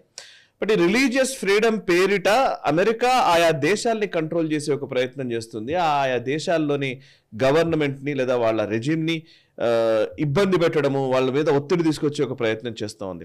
సో వాళ్ళు ఇచ్చిన దాని ప్రకారం particular country of particular concern. ఈ టర్మినాలజీ మీద ఒకసారి ఒక సపరేట్ ఒక వీడియోనే చేయాలేమో సార్. స్ట్రక్చర్ నిజానికి ఇప్పుడు ఒక కొన్ని కొన్ని పదాలు వాడతారు. ఆ పదాలతోటి ఎట్లా మనం build చేస్తాం. narrative బిల్డ్ చేయొచ్చు అనేది. సో బైడెన్ అడ్మినిస్ట్రేషన్ భారతదేశాన్ని ఇండియాని కంట్రీ ఆఫ్ పర్టికులర్ కన్సర్న్ జాబితాలో చేర్చాలి అని చెప్తున్నారు. సిపిసి అని చెప్తున్నారు. ఎందుకంటే చాలా భారతదేశంలో మైనారిటీలకు హక్కులు లేవు ఇవి లేవు ఇవి లేవు. అందులో చాలా రాశారు. Alarmed by India's increased transnational targeting of religious minorities and those advocating on their behalf ఇది యూసర్ఫ్ యుఎస్సిఐఆర్ఎఫ్ రిపోర్ట్ చెప్తున్నది. ఒకసారి దా రిపోర్ట్లో ఏముంది? దానికి భారత రియాక్షన్ అండ్ ఇవన్నీ ఒకసారి ఎక్స్ప్లెయిన్ చేయండి. యాంటోనీ బ్లింకిన్ ఈ రిపోర్టుకు సంబంధించి అతను ప్రెస్ కాన్ఫరెన్స్లో చెప్పడం భారతదేశంలో ఇవన్నీ జరుగుతున్నాయి మాకు చాలా కన్సర్న్గా ఉంది అని స్టేట్మెంట్ ఇవ్వడం అన్నది అది చాలా డేంజరస్ సిచ్యుయేషన్ ఎందుకంటే ఒక దేశానికి సంబంధించినటువంటి home minister cum foreign minister ఎవరైతే ఉన్నారో సెక్రటరీ ఆఫ్ స్టేట్ అతను స్టేట్మెంట్ ఇస్తున్నాడు. ఏదో సంస్థ ఇచ్చిందంటే మనం దాన్ని కొట్టిపడేయచ్చు. కానీ అంతటి సీనియర్ నేత ఈ స్టేట్మెంట్ ఇవ్వడం అన్నది ఆ, ప్రభుత్వం ఎలా భారతదేశాన్ని చూస్తుందో మనం అర్థం చేసుకోవచ్చు. కంట్రీ ఆఫ్ పర్టికులర్ కన్సర్న్ అన్నటువంటి టర్మినాలజీ ఏ దేశాలకు వాడుతున్నారు అంటే కనుక Afghanistan Cuba North Korea Russia China ఇటువంటి వాళ్ళ జాబితాలో మనం కూడా వేశారు వాళ్ళు. నిజంగా అమెరికాలో రిలీజియస్ ఫ్రీడమ్ ఉన్నదా? ఈరోజు జ్యూస్ వాళ్ళ సెనగాక్స్కి వాళ్ళు వెళ్ళగలుగుతున్నారా? వాళ్ళ స్కూల్కి వెళ్ళగలుగుతున్నారా? ఎన్ని వీడియోస్ వచ్చాయి? వాళ్ళ స్కూళ్ళ మీద దాడులు వాళ్ళ సెనగాగ్స్ వాళ్ళ వీటి మీద దాడులు వాళ్ళు వీధిలో వెళ్తుంటే వాళ్ళ మీద దాడులు ఇటువంటివి ఎన్నో జరిగాయి. కొంతమంది వృద్ధులైనటువంటి జ్యూస్ని చంపేశారు కూడా. మరి రిజి రిలీజియస్ ఫ్రీడమ్ అక్కడ ఉన్నదా? నిజంగా చెప్తే. అలాగే కొన్ని కొన్ని క్రిస్టియన్ ఆర్గనైజేషన్స్ కూడా వాళ్ళు ఓపెన్గా క్రిస్టియానిటీని వాళ్ళు ప్రొపగేట్ చేయలేకుండా చేయలేనటువంటి పరిస్థితి కొన్ని స్టేట్స్లో. చేస్తే కనుక అదేదో రిలీజియస్ ఇంటాలరెన్స్ వాళ్ళ ఫ్రీడమ్ని వాళ్ళ హక్కులను వీళ్ళు హరిస్తున్నట్లు లెక్కబెట్టి వీళ్ళని జైల్లో పెడుతున్నారు. కానీ ఇమ్మిగ్రెంట్స్ ఎవరైతే వచ్చారో వేరే మతాల వాళ్ళు ఎవరైతే వచ్చారో ఇస్లాం ముస్లిమ్స్ ఎవరైతే వచ్చారో వాళ్ళని ఏమి చేయకుండా వీళ్ళు చర్యలు తీసుకుంటున్నారు. సో ఓవరాల్గా చూస్తే కనుక ఆ దేశంలోనే రిలీజియస్ ఇంటాలరెన్స్ చాలా చిరస్థా చిరస్థాయికి వెళ్ళిపోయింది అది. కానీ మన మీద వాళ్ళు కామెంట్ చేస్తున్నారు. అలాగే యూకేలో చూద్దాం. యూకేలో ఎటువంటి పరిస్థితి? మనకు ఫ్రాన్స్ జర్మనీ ఇక్కడ ఎటువంటి పరిస్థితి. రిలీజియస్ ఇంటాలరెన్స్ ఎక్కడున్నది? స్వీడన్లో వాళ్ళు కురాన్ని తగలబెడుతుంటే అది రిలీజియస్ ఇంటాలరెన్స్ కాదా? మరి స్వీడన్ మీద ఆంక్షలు ఎందుకు వేయలేదు మీరు? ఇది ఒక ఎత్తు. హిపోక్రసీ రెండవ హిపోక్రసీ వీళ్ళు కోట్ చేసింది ట్రాన్స్ నేషనల్ అటాక్స్ అని అంటున్నారు. ఏమైనా ప్రూవ్ అయిందా? ఒక్క విషయం ఏమైనా ప్రూవ్ అయిందా? నిజ్జర్ uh, విషయంలో ఏమైనా ప్రూవ్ అయిందా మనకి? ఇంతవరకు అవ్వలేదు. అలాగే మనకు పన్నూన్ విషయంలో ఏమైనా uh, ఏదైనా కోర్టు చెప్పిందా? భారతదేశం దీన్ని చేసిందా? ఎవరు చెప్పారో చెప్పలేదు. ఎక్కడ ఎవిడెన్స్ లేకుండా వీళ్ళు ఆల్రెడీ మన మీద జడ్జిమెంట్ పాస్ చేసేసారు. యుఎన్సిఐఆర్ఎఫ్ జడ్జిమెంట్ ఇచ్చేశారు వేరే వేరే దేశాల్లో వెళ్ళి భారత హిందువులకు వ్యతిరేకంగా ఉన్న శక్తులని వీళ్ళు చంపుతున్నారు అని జడ్జిమెంట్ ఇచ్చేశారు జడ్జిమెంట్ ఇచ్చేసారా? నువ్వు ఎవరు జడ్జిమెంట్ అవును. ఇంకా ఇన్వెస్టిగేషన్స్ నడుస్తున్నాయి కదా. మీ ప్రభుత్వమే చెప్పలేదు ఇంకా. ఉండొచ్చేమో అన్నారు వాళ్ళు. క్రెడిబుల్ రూమర్స్ అన్నాడు. క్రెడిబుల్ రూమర్స్ కరెక్ట్ సో అది రూమర్స్ అంటే రూమర్సే అది? ఎవిడెన్స్ కాదు కదా. అటువంటి పరిస్థితుల్లో ఎలా ఈ యుఎన్సిఐఆర్ఎఫ్ ఇది నిజంగా చేశారని ఎలా చెప్తున్నారు? పైపెచ్చు. మనకు నూ మేవాత్ ఆ ప్రాంతంలో జరిగినటువంటి రైట్స్ ఉన్నాయి. దాని గురించి ఎందుకు నోరు మెదపలేదు బెంగాల్. బెంగాల్. బెంగాల్ ఎందుకు నోరు మెదపలేదు మైతీలకు జరిగినటువంటి అత్యాచారాలు దాని గురించి ఎందుకు మాట్లాడట్లేదు? ఏదో క్రిస్టియన్లు చంపుతున్నారు అంటే కుక్కీలు చంపుతున్నారు అంటారు కానీ మరి కుక్కీలు మైతీలను చంపిన దాని గురించి ఎందుకు మాట్లాడలేదు చిన్న పిల్లలు వీడియోలు ఉన్నాయి. చూసే ఉంటావు నువ్వు ఆ, స్కూల్కి వెళ్తున్నట్టు అన్నా చెల్లెలు ఇద్దరిని బతికుండగా వీడియో ఉంది. నెక్స్ట్ వీడియోలో వాళ్ళిద్దరు చనిపోయి ఉన్నారు చంపేశారు వాళ్ళు. అంత కిరాతకంగా చంపారు. సో ఎన్ని మానభంగాలు చేస్తున్నారు ఎన్ని గ్రామాలను తగలబెట్టారు. ఇవి ఎందుకు మాట్లాడరు వీళ్ళు? సో రిలీజియస్ ఫ్రీడమ్ లేదన్నప్పుడు టెర్రరిస్టులు ముగ్గురు ఎలా గెలిచారు ఈ దేశంలో? అది కూడా చూడాలి కదా. మరి ఖలిస్తాని అంటే మనం యాక్చువల్గా చట్టాన్ని గౌరవించేటువంటి దేశం. వాళ్ళు వాళ్ళ మీద అభియోగం మాత్రమే ఉన్నది కానీ వాళ్ళు నేరస్తులని ఏ కోర్టు నిర్ధారించలేదు ఇంకా. కోర్టు నిర్ధారించిన తర్వాత వాళ్ళు ఎన్నికల్లో పాల్గొనే అధికారం కోల్పోతారు వాళ్ళు. అంతవరకు ఈరోజు వాళ్ళు పార్టిసిపేట్ చేయొచ్చు కదా. బేంట్ సింగ్ కొడుకు గెలిచాడు. ఇందిరాగాంధీని చంపినటువంటి వ్యక్తి గెలిచాడు. వాళ్ళ కొడుకు గెలిచాడు. కొడుకు అమృత్ పాల్ సింగ్. ఇది దేశమే కాదు మేము స్వతంత్ర దేశం అని మాట్లాడినటువంటి వ్యక్తి గెలిచాడు. ఇంజనీర్ రషీద్ ఈ చట్టాన్ని నమ్మనటువంటి వాడు ఈ దేశాన్ని ముక్కలు చేయాలని చెప్పి పాకిస్తాన్కి ఫండింగ్ తీసుకొని ఇక్కడ వేర్పాటువాదాన్ని పెంపొందించినటువంటి ఇంజనీర్ రషీద్ గెలిచాడు. అవును. అంటే రిలీజియన్స్ టాలరెన్స్ ఉందా ఇంటాలరెన్స్ ఉందా ఈ దేశంలో? నిజంగా నష్టపోతోంది ఎవరు?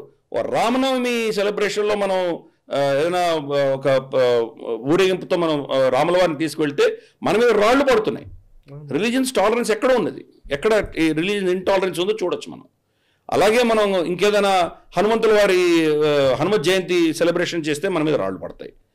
గణేష్ నిమజ్జనకు వెళ్తే రాళ్ళు పడతాయి. సో ఇంటాలరెన్స్ ఎక్కడ ఉన్నది. ఇవన్నీ వాళ్ళకి ఎందుకు కనిపించలేదు? యుఎన్సిఆర్ఎఫ్లో దీని గురించి ఎందుకు వాళ్ళు ప్రస్తావించలేదు? ఇంత పెద్ద దేశంలో కొన్ని వైషమ్యాలు ఉంటాయి. అప్పుడప్పుడు అది స్పిల్ అవుట్ అవుతూ ఉంటుంది. అది మన అంతర్గతమైన విషయాలు. లా అండ్ ఆర్డర్ అనేది రాష్ట్రాలు చూసుకోవాలి. కొన్ని రాష్ట్రాలు దీన్ని కంట్రోల్ చేయగలుగుతున్నాయి. ఫర్ ఇన్స్టెన్స్ ఉత్తరప్రదేశ్లో అది చేసే దమ్ములు ఎవరికైనా ఉన్నాయా? లా అండ్ ఆర్డర్ పటిష్టంగా ఉంది కాబట్టి అక్కడ.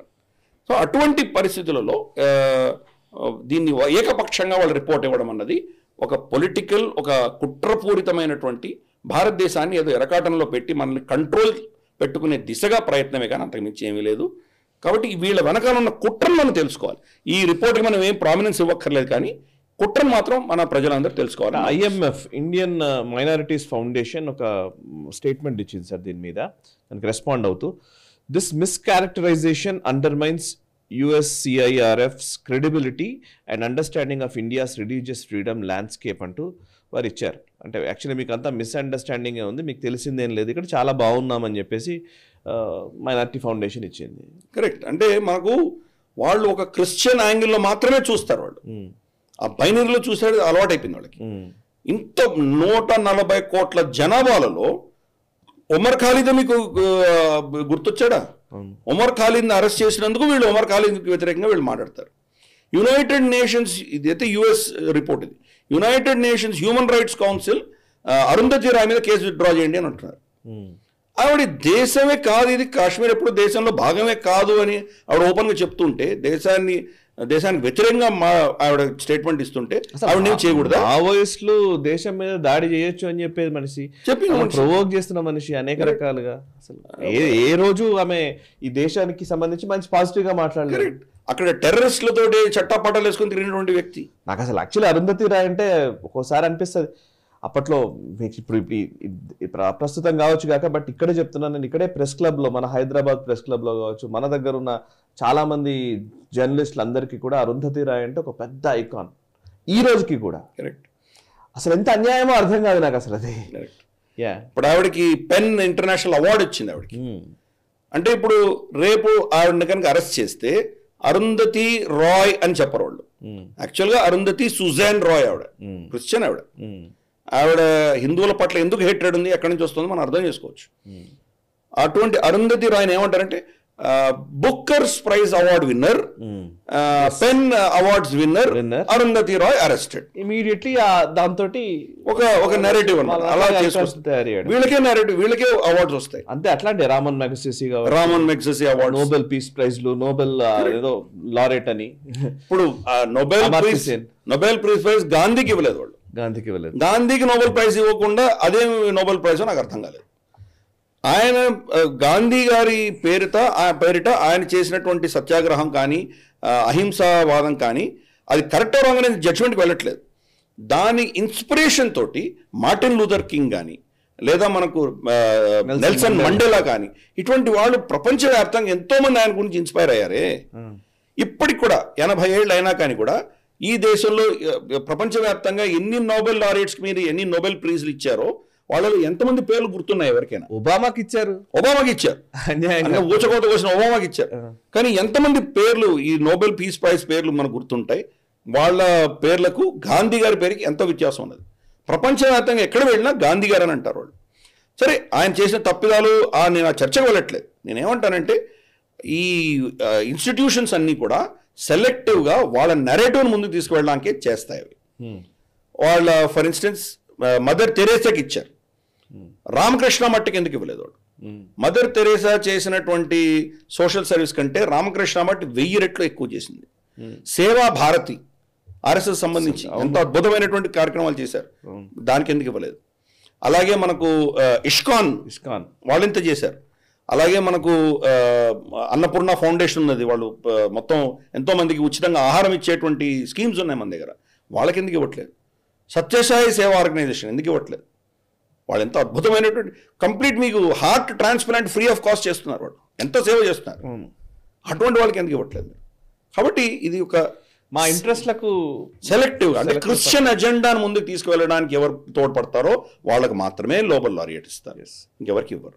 ఎస్ ఇప్పుడు మీరు అన్నట్టుగా రిలీజియస్ ఫ్రీడమ్ ప్రెస్ ఫ్రీడమ్ లేకపోతే ఫ్రీడమ్ ఆఫ్ ఎక్స్ప్రెషన్ ఇవన్నిటి గురించి పెద్ద పెద్ద లెక్చర్లు ఇచ్చేవాళ్ళు ఇప్పుడు కొత్తగా నేను ఇప్పుడు అసలు యాక్చువల్లీ జూలియన్ అసాంజ్ గురించి మనం ఒక వార్త చదవాలి దాని గురించి మనం మాట్లాడాలి.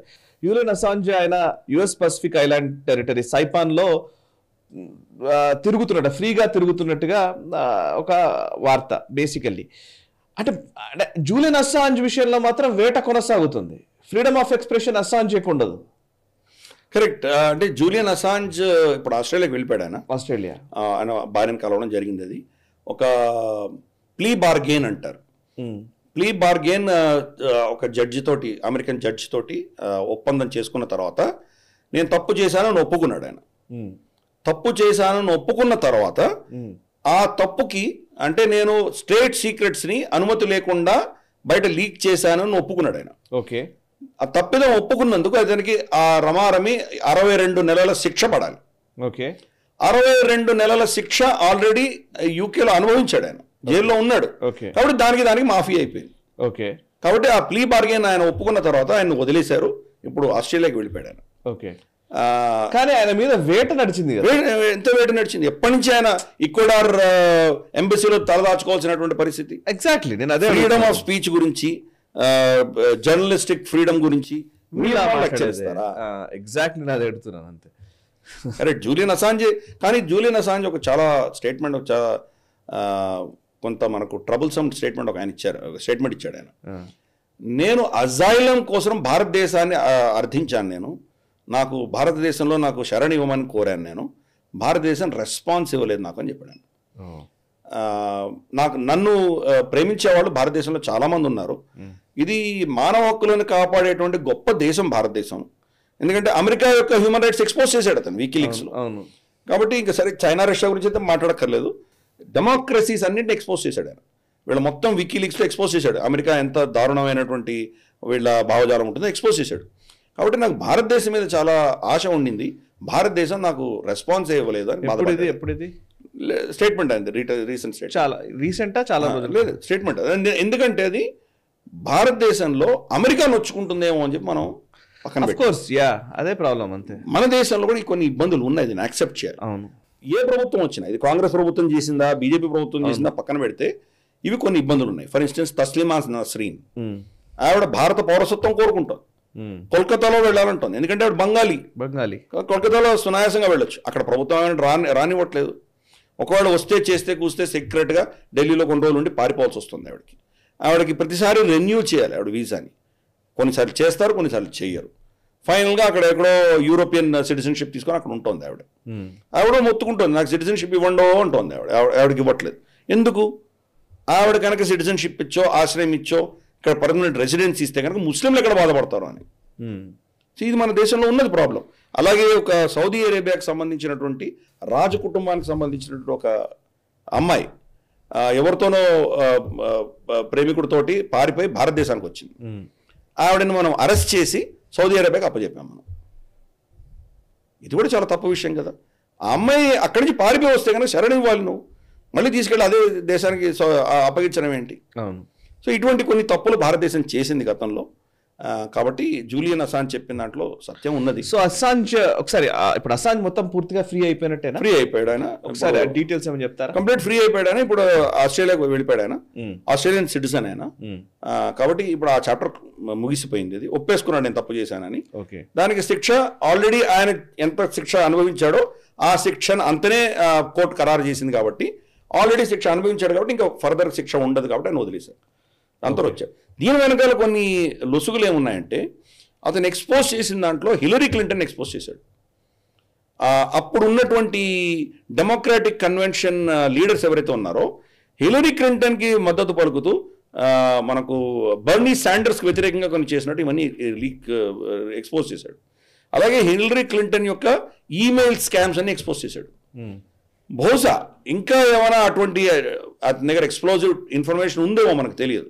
ఈ ప్లీ బార్గెయిన్లో ఇవన్నీ నువ్వు బయటికి చెప్పొద్దు నిన్ను వదిలేస్తామని బహుశా ఏదో ఒప్పందం చేసుకున్నారు. లోపాయకార ఒప్పందం చేసుకున్నారు. అందుకని వదిలేశారు. ఇప్పుడు ఎన్నికలు వస్తున్నాయి? సపోజ్ జో బైడెన్కో హంటర్ బైడెన్కి సంబంధించో ఏదైనా ఎక్స్ప్లోజివ్ ఇన్ఫర్మేషన్ అని బయట లీక్ చేస్తే వీళ్ళ ఎలక్షన్ పరిస్థితి ఏమవుతుంది? కాబట్టి డెమోక్రాట్ పార్టీ వాళ్ళని కాపాడుకోవడానికి సీక్రెట్లు దాచిపెట్టడానికి కోసం ఏదో ప్లీ బార్గెన్ చేసి ఆయన వదిలేశారు. చూద్దాం రాబోయే రోజుల్లో మరి ఎంతవరకు ఆయన సీక్రెట్ మెయింటైన్ చేయగలడో మరి లేదంటే ఎక్కడ మెల్లిగా లీక్ చేయడం అనేది ఏమైనా చేస్తాడేమో వేచి చూడాలి. ఓకే. ప్లీ బార్గెన్లో కనుక మీరు ఏది ఒప్పుకున్నారో దానికి వ్యతిరేకంగా ఏమైనా చేస్తే మళ్ళీ మిమ్మల్ని జైలు పంపించవచ్చు కాబట్టి ఇప్పటికైతే గతంలో గతంలో ఆయన చేసినటువంటి తప్పి సో కాల్డ్ తప్పిదాలకు ఒక తెర పడిందని అనుకోవాలి. ఓకే. చూద్దాం రాబోయే రోజుల్లో ఎలా ఉంటుంది. రైట్ సార్ మరొక అంశము. Top secret US undersea drone Manta Ray ఇది గూగుల్ మ్యాప్స్లో లో సడన్గా ఇది స్పాట్ చేశారు. అండ్ తర్వాత ఇమీడియట్గా ఇమేజ్ వైరల్ అయిన వెంటనే దాన్ని రిమూవ్ చేసినట్టుగా ఒక వార్తాంశము. ఆ, ఫోటో చూస్తుంటే చాలా విచిత్రంగా ఉంది యాక్చువల్లీ అది అండర్సీ డ్రోన్. ఒకసారి దాని గురించి డీటెయిల్స్ చెప్తారా? ఇది కాలిఫోర్నియాలోని ఏదో ఒక పోర్ట్ హ్యూనెమి అనే నావెల్ బేస్లో ఇది దర్శనం ఇచ్చింది సడన్గా. తర్వాత మళ్ళీ దాన్ని తీసేశారని చెప్తున్నారు. ఒకసారి దీని స్టోరీ ఏంటి సార్? చెప్తారా? చాలా సీక్రెట్గా జరిగినటువంటి ఈ డెవలప్మెంట్ ఇది. చూస్తే కనుక స్టింగ్ రే అంటాం కదా మనం. దాని తోక ఉంటుంది పెద్ద రెక్కలుండి వెళ్ళేటువంటి అటువంటిది మంటారే కూడా అదే ఆ కోవకు చెందింది. దానిలాగా డిజైన్ చేశారు దీన్ని. మామూలుగా సబ్మరీన్ ఒక గొట్టంలా ఒక ట్యూబ్ లాగానే మనకు కనిపిస్తుంది. కానీ దీనికి రెక్కలు ఉన్నాయి అంటే మరి ఏం టెక్నాలజీ వాడుతున్నారో మనకు తెలియదు. ఆ టెక్నాలజీ మనకు తెలిసింది ఏంటంటే రష్యా కానీ లేదా చైనా కానీ వీళ్ళ సబ్మరీన్స్ని కౌంటర్ చేసే దిశగా చాలా కేపబిలిటీ వాళ్ళకి ఉన్నది అని తెలుస్తుంది. చాలా సీక్రెట్గా డెవలప్మెంట్ జరిగింది ఇది. ఎవరికి తెలియలేదు ఇంతవరకు. గూగుల్ మ్యాప్స్లో అది లీక్ అయిన తర్వాత గూగుల్ ఎర్త్లో గూగుల్ మ్యాప్స్లో లీక్ అయిన తర్వాత ఇప్పుడు అందరికీ తెలిసిపోయింది. ఇటువంటి సీక్రెట్గా వీళ్ళు చేస్తున్నారని. అందుకని ఇమ్మీడియట్గా గూగుల్ దాన్ని తీసేయడం జరిగింది అది. అక్కడ ఏదో బోట్లు మళ్ళీ పెట్టి ఏదో చేంజ్ చేశారు దాన్ని. మామూలుగా ఏంటంటే గూగుల్ ప్రతి మూడు సంవత్సరాలకు ఒకసారి వాళ్ళు మ్యాప్లు మారుస్తుంటారు. అంటే దాంట్లో హై ఎండ్ ప్రోడక్ట్స్ కొనుక్కునే ప్రోడక్ట్స్ బహుశా అంతకంటే తక్కువ సమయంలోనే మార్చొచ్చు. కానీ మూడు సంవత్సరాలు అంటే ఇది డెవలప్మెంట్ మూడు నాలుగు సంవత్సరాల కంటే ముందు నుంచే జరుగుతోంది. కరెక్ట్ ఇప్పుడు బయటపడింది అది. దీని కేపబిలిటీ ఏంటంటే కనుక ఇది పెద్ద దానికి ఒక సపరేటెడ్ డాక్ యార్డ్ ఇవన్నీ అక్కర్లేదు. సబ్మరీన్లకు వేరే డాక్ యార్డ్ కావాలి. ఎందుకంటే కింద నీటి మట్టం చాలా లోతుగా ఉండాలి. అక్కడ సిల్టేషన్ ఉంది అంటే కనుక ఇరుక్కుపోతుంది దాంట్లో. ఇరుక్కుపోకుండా చాలా లోతైనటువంటి ప్రాంతంలో రావాలి. అది లోపలికి వెళ్ళిన తర్వాత అది సర్ఫేస్కి వచ్చిన తర్వాత దాన్ని రిపేర్ చేయడానికి దానికి అంత కథ వేరే ఉంటుంది. అలా కాకుండా సింపుల్గా మామూలుగా సివిలియన్ పోర్ట్స్లో కూడా దీన్ని సర్వీస్ చేయగలిగినటువంటి కెపాసిటీ దీనికి ఉంది అని మనం వింటున్నాం మనం. మరి ఆ రెక్కలు ఆ వింగ్స్ అవన్నీ మరి ఎలా వాళ్ళు దాన్ని డిజైన్ చేశారన్నది చాలా సీక్రెట్గా ఉంది మనకు తెలియదు ఇంకా అది. రాబోయే రోజుల్లో బహుశా దాని టెక్నాలజీ అంతా కూడా మెల్లిమెల్లిగా అందరూ విశ్లేషిస్తారు. చూద్దాం బట్ అద్భుతమైనటువంటి ఆవిష్కరణ తప్పకుండా. ఎందుకంటే మనం వాళ్ళ B two B fifty two bombers కానీ ఇది కానీ వింగ్ స్పాన్ చాలా ఎక్కువ ఉంటుంది అది. అంటే ఏదో ఒక జంతువుని ఆధారంగా వీళ్ళు చేశారు. అది కూడా డేగా ఇవన్నీ ఎలా వెళ్తాయో దాని ఆధారంగా చేసినటువంటి ఏవియేషన్ అంతా కూడా. సముద్రంలో ఉన్నటువంటి జలచరాల యొక్క వాటి కెపాసిటీని వాటి వాటి వాడు ఎలా ప్రవర్తిస్తాయని చూసి దాని ఆధారంగా ఈ టెక్నాలజీని డెవలప్ చేశారు. కాబట్టి ఇది తప్పకుండా ప్రపంచం ఫస్ట్ టైం చూస్తోంది ఇది. రాబోయే రోజుల్లో చూద్దాం మరి. అది ఏమవుతుందో ఏమవుతుందో అది. బహుశా దాన్ని రెప్లికేట్ చేసే ప్రయత్నం అందరూ చేస్తారు. అందరూ చేస్తారు. మనం కూడా వెనక కొద్దిగా వెనకుంటామేమో కానీ మనం కూడా తప్పకుండా చేస్తాం అది. ఇది ఒక కొత్త ఇమేజ్ మాత్రం చాలా అద్భుతంగా ఉంది. అద్భుతంగా ఉంది. యా కరెక్ట్ సరే ఇక నెక్స్ట్ అంశము ఇజ్రాయెల్కి మనము ఆయుధాలు సరఫరా చేశాము అనే ఒక అంశానికి సంబంధించి మనం గతంలో కూడా గ్లోబల్ రౌండప్లో మాట్లాడాము. హైదరాబాద్ బేస్డ్ ఒక company Hermes nine hundred drones ఇజ్రాయెల్కి ఇచ్చింది అనే అంశానికి సంబంధించి మనం అప్పట్లో మాట్లాడాము యాక్చువల్లీ ఒక ప్రైవేట్ కంపెనీ ఇజ్రాయెల్ సంబంధించిన పెట్టుబడులు ఉన్నాయి. అవి మీరు ఎక్స్ప్లెయిన్ చేశారు. మళ్ళీ ఒకసారి దాన్ని మనం రియాక్టరేట్ చేసుకుందాం. అయితే ఇప్పుడు మళ్ళీ ఎందుకు తెరపైకి వచ్చిందంటే former Israeli ambassador to India Daniel Carmon ఆయన ఇచ్చిన ఒక స్టేట్మెంట్ వైనెట్ న్యూస్ అనే ఒక ఛానల్ ఇజ్రాయెల్ ఛానల్కి ఇచ్చినటువంటి ఇంటర్వ్యూలో ఆయన చెప్పింది ఏంటంటే ఎస్ అవును మన గాజాలో ఇజ్రాయెల్కి వార్ జరుగుతున్న టైంలో might be supplying arms to Israel అనేది ఆయన చెప్పారు. India might be supplying arms to అని. సో ఇదేంటంటే కార్గిల్ యుద్ధ సమయంలో భారత్కు ఇజ్రాయెల్ సపోర్ట్ చేసింది కాబట్టి అది దానికి బదులుగా మనం ఇజ్రాయెల్కి ఇప్పుడు మద్దతునిస్తున్నాము అనేది ఆయన చెప్పిన మాట. సో దీంతో ఒక్కసారిగా మళ్ళీ వార్తల్లోకి వచ్చింది. మళ్ళీ సంచలనమైన అంశంగా మారింది. ఎందుకంటే ఇప్పటికే అసలు ఇజ్రాయెల్కి వ్యతిరేకంగా ఒక వెస్టర్న్ కంట్రీస్లో ఒక పెద్ద మాహోల్ బిల్డ్ అవుతున్న టైంలో ఈవెన్ ఈ అంశం కూడా మళ్ళీ తెరపైకి వచ్చింది. దీని గురించి మీరేం చెప్తారు? అంటే అండ్ ఈవెన్ మొన్నటికి మొన్న పార్లమెంట్లో ఆ ఓవైసీ స్టేట్మెంట్. జై పాలస్తీనా అనడం కూడా అంటే ఊరికే జస్ట్ కనెక్ట్ చేయడం కోసం చెప్పండి సార్. కరెక్ట్. మనకు యాక్చువల్గా భారత ప్రభుత్వం దీని గురించి నోరు మెదపలేదు. అవును. రెస్పాన్స్ లేదు భారత ప్రభుత్వం. కరెక్ట్. కానీ అక్కడ కొన్ని విజువల్స్ వీడియోలు ఫోటోలు వచ్చాయి. ఒక ఒక ఆ, ఏమంటారు షెల్ అక్కడ పడి పేలిపోయిన తర్వాత ఆ షెల్ మీద మేడ్ ఇన్ ఇండియా అని రాస్తుంది అది. సో ఇది చాలామంది సోషల్ మీడియాలో దాన్ని వైరల్ చేశారు. భారతదేశం సప్లై చేస్తోంది అని వాళ్ళు నెరేటివ్ బిల్డ్ చేశారు. మే మేడ్ ఇన్ ఇండియా అట్ట అని దాంట్లో ఉన్నది అన్నది నిజంగా రఫాలోనో లేకపోతే గాజాలోనో జరిగిందని ఎవరు నిర్ధారించి చెప్పలేరు. ఎందుకంటే ఆ వీడియో రిలీజ్ అయింది అది. అది ఎక్కడైనా ఉండొచ్చు మనకు తెలియదు ఏదో ఎక్కడో థియేటర్లో ఉన్నది వాళ్ళు బహుశా వీడియో తీసి పెట్టి ఉండొచ్చు. మనకు ఆథెంటిక్గా ఉందా లేదా మనకు తెలియదు ఒకటి. రెండవది ఒకవేళ అది నిజంగా గాజాలోనే జరిగింది అనుకుందాం మనం. పాకిస్తాన్ షెల్స్ కూడా మనకు ఇజ్రాయెల్ వాడుకుంటోంది గాజా మీద అటాక్ చేస్తుంది. మరొక ముస్లిం దేశమైన పాకిస్తాన్ని మరి దాని గురించి ఎందుకు వీళ్ళు మాట్లాడరు? పాకిస్తాన్ అయినా భారతదేశమైనా థర్డ్ పార్టీస్కి అమ్ముతారు. థర్డ్ పార్టీస్ ఎవరు పంపిస్తారో మనకు తెలియదు. పాకిస్తాన్ ఏం చేసింది? యూకేకి అమ్మింది. యూకే కొంటోంది యూకే కొని ఏం చేస్తోంది? యుక్రెయిన్కి పంపిస్తోంది. యుక్రెయిన్ యుద్ధంలో వాళ్ళకి కావాల్సింది గతంలో సప్లై చేసేవాళ్ళు. ఇజ్రాయెల్ ఎప్పుడైతే గొడవలు జరుగుతున్నాయో ఇజ్రాయెల్కి అవసరాలు పెరిగినప్పుడు వీళ్ళ దగ్గర షెల్స్ తక్కువ అవుతాయి కనుక ఈ పాకిస్తానీ షెల్స్ని వాళ్ళు ఇజ్రాయెల్కి డైవర్ట్ చేశారు వాళ్ళు. బహుశా మనది అదేగా ఉండొచ్చు. మన ఎక్స్పోర్ట్ చాలామందికి చేస్తున్నాం. మన దగ్గర ఎవరో కొంటున్నారు. కొన్న వాళ్ళు ఇజ్రాయల్కి పంపించి ఉండొచ్చు కాక. భారతదేశం డైరెక్ట్గా మనం పంపించలేదు కదా వాళ్ళకి. ఎవరో కొని ఉండొచ్చు థర్డ్ పార్టీ కొని ఉండొచ్చు వెళ్ళి ఉండొచ్చు. ఇది ఒక అంశం. రెండవది మనకు హైదరాబాద్లో మన మనకి నాకు చెప్పినట్టు ఒక వాళ్ళ ఇజ్రాయలీ ఓన్డ్ కంపెనీ ఒకటి ఉన్నది. వాళ్ళు మేక్ ఇన్ ఇండియా లాంటివి ఇక్కడ ఎప్పుడైతే ప్రభుత్వం అనౌన్స్ చేసిందో ఇక్కడ వచ్చి పెట్టుకున్నారు వాళ్ళు. కాబట్టి ఇక్కడి నుంచి వాళ్ళ దేశంలో వాళ్ళు సప్లై చేస్తే కానీ మనం ఎలా ఆపగలం వాళ్ళని? Company owned by Israel. Manufactured in India. మనకు ఉద్యోగాలు ఇచ్చారు మనకు ఇవన్నీ ఇచ్చారు మన టెక్నాలజీ మనకు ట్రాన్స్ఫర్ చేస్తున్నారు. మనం కూడా దేశం వాటి దగ్గర ఆ కంపెనీ నుంచి కొంటున్నాం మనం. వాళ్ళు వాళ్ళ దేశానికి సప్లై చేసుకుంటే మనం ఎలా ఆపగలం వాళ్ళని? ఆఫ్టర్ ఆల్ మనం ఎక్స్పోర్ట్ చేయాలి అంటున్నాం కదా.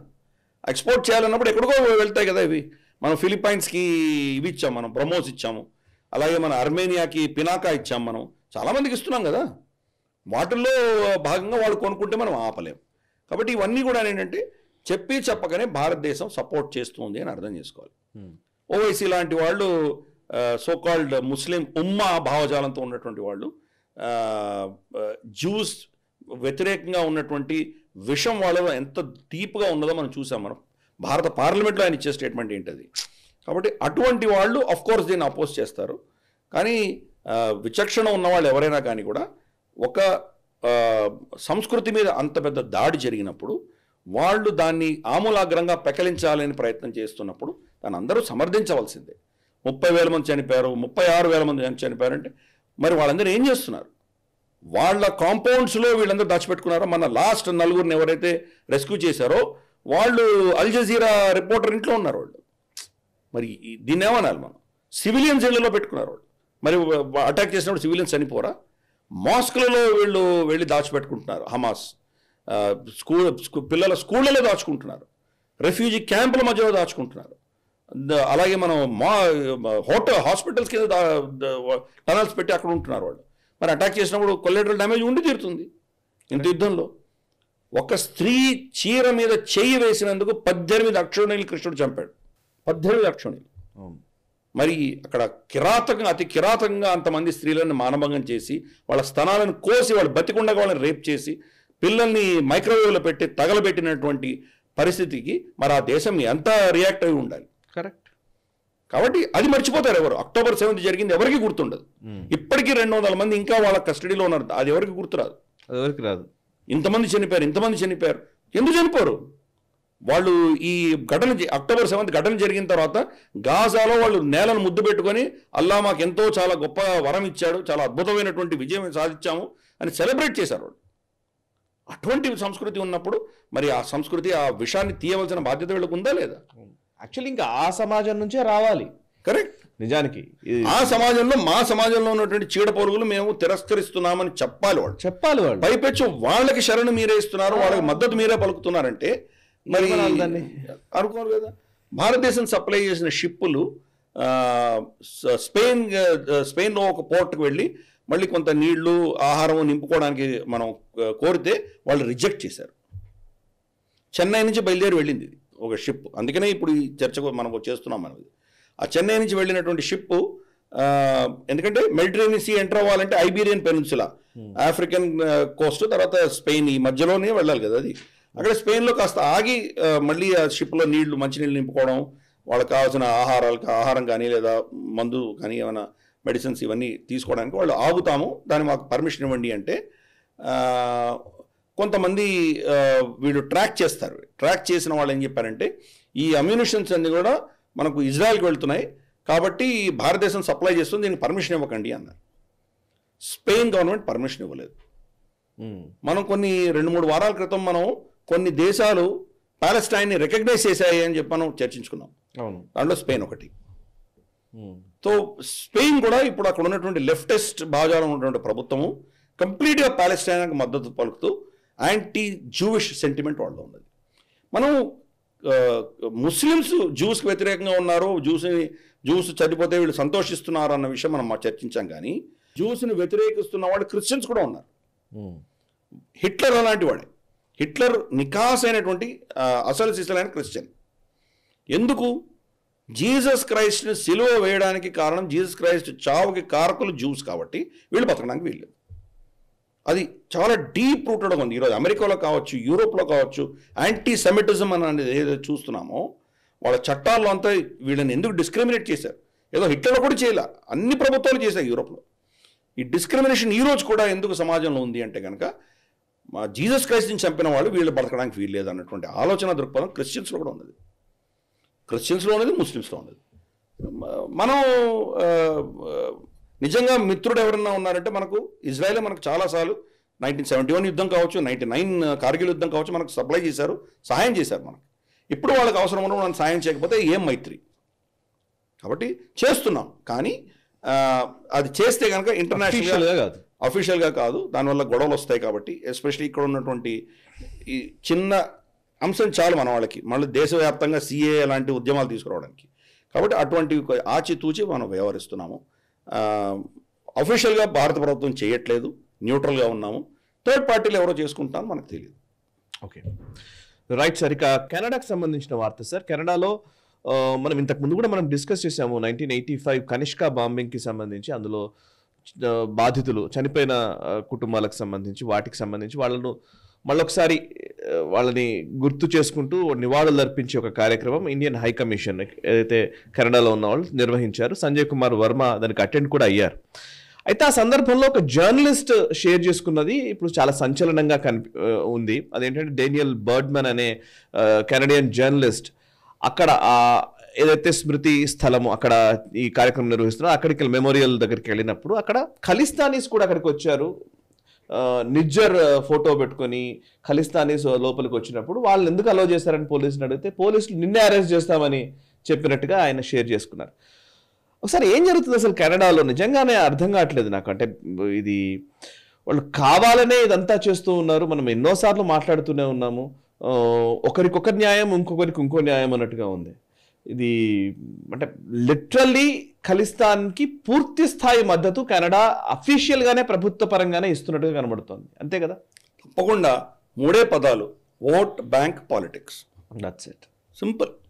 Vote bank politics. In fact ఆఫ్ఘనిస్తాన్లో ఎప్పుడైతే నేటో ఫోర్సెస్ వెస్ట్రన్ ఫోర్సెస్ అక్కడి నుంచి వైదొలిగాయో అక్కడి నుంచి బయటకు వస్తున్నప్పుడు వాళ్ళ defence minister Canada defence minister అప్పుడు సర్దార్జీ ఉన్నాడు ఆయన.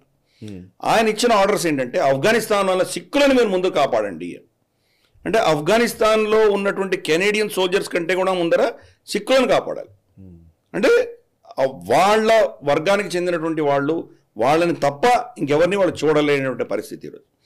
ఇది కూడా పెద్ద ఎక్స్పోజ్ అయ్యి ఈరోజు అక్కడే ఉన్న ఆఫ్ఘనిస్తాన్లోని గురు గ్రంథ్ సాబ్ పట్టుకొని అక్కడ నుంచి వస్తున్నప్పుడు భారతదేశానికి వచ్చారు వచ్చారు వాళ్ళు. పెద్ద ఘన స్వాగతం పలికింది భారతదేశం. వాళ్ళకు పౌరసత్వం మన సిఏ చట్టంలో కల్పించాం మనం. అవును.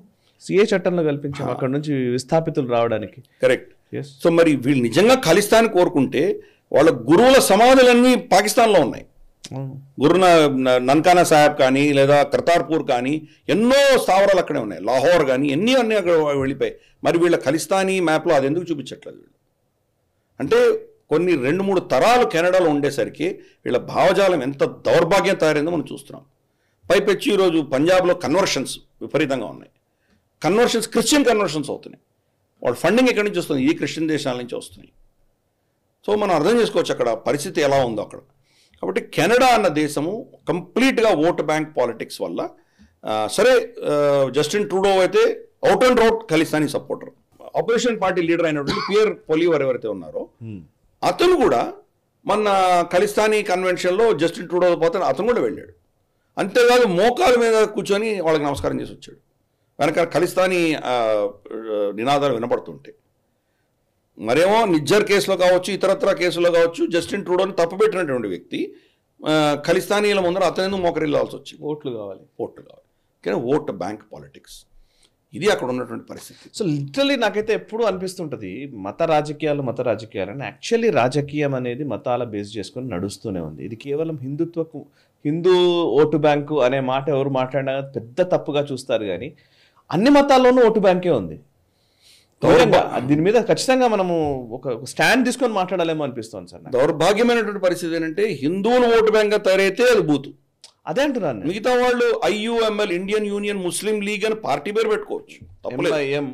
మా ముస్లిం ఇత్తహాద్ ముసల్మీన్ ఎంఐఎం అని పెట్టుకోవచ్చు తప్పులేదు. రైట్? అలాగే అకాలీ దల్ ఆ- అకల్ తఖ్త్ సంబంధించినటువంటి అకాలీ దల్ వాళ్ళు పెట్టుకోవచ్చు తప్పులేదు. అలాగే క్రిస్టియన్ పార్టీలు కుప్పలు ఉన్నాయి నార్త్ ఈస్ట్లో ఉమ్. కేరళలో ఉన్నాయి క్రిస్టియన్ పార్టీలు. ఎవరు క్రిస్టియన్ పేరు పెట్టుకున్న పార్టీలకు మనకేం ఇబ్బంది లేదు. హిందూ పార్టీ పెట్టుకుంటే ఇబ్బంది. సో ఇది ఒక విధమైనటువంటి leftist disruptive cancel culture policy ఆధారంగా వచ్చినటువంటిది. సబాల్టర్న్ స్టడీస్ అని ఇటువంటి చెత్త చెత్తవన్నీ తీసుకొచ్చి సమాజాన్ని చీల్చేటువంటి ప్రయత్నంలో ఒకడు పీడించేవాడు ఒకడు పీడితుడు. హిందువు పీడించబడ్డాడంటే దాన్ని వీళ్ళు మాట్లాడరు. అది అస్సలు ఉండదు. ఎవరు ట్వీట్ చేయరు ఏమి చేయరు.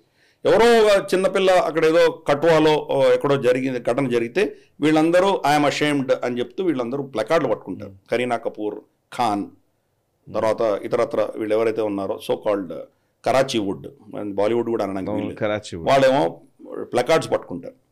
అదే ఒక బ్రాహ్మణ పిల్లవాడో లేకపోతే ఇంకేదైనా హిందూ పి- పిల్లవాడు ఎవరైనా చనిపోతే కనుక వీళ్ళు దాని గురించి రెస్పాండ్ అవ్వరు సో అందులో అందులో కులంతో సందేశ్ ఖాళీ సందేశ్ ఖాళీలో ఇంత అటాక్స్ వీళ్ళు సందేశ్ ఏమైనా మాట్లాడారు? మాట్లాడరు. మాట్లాడరు.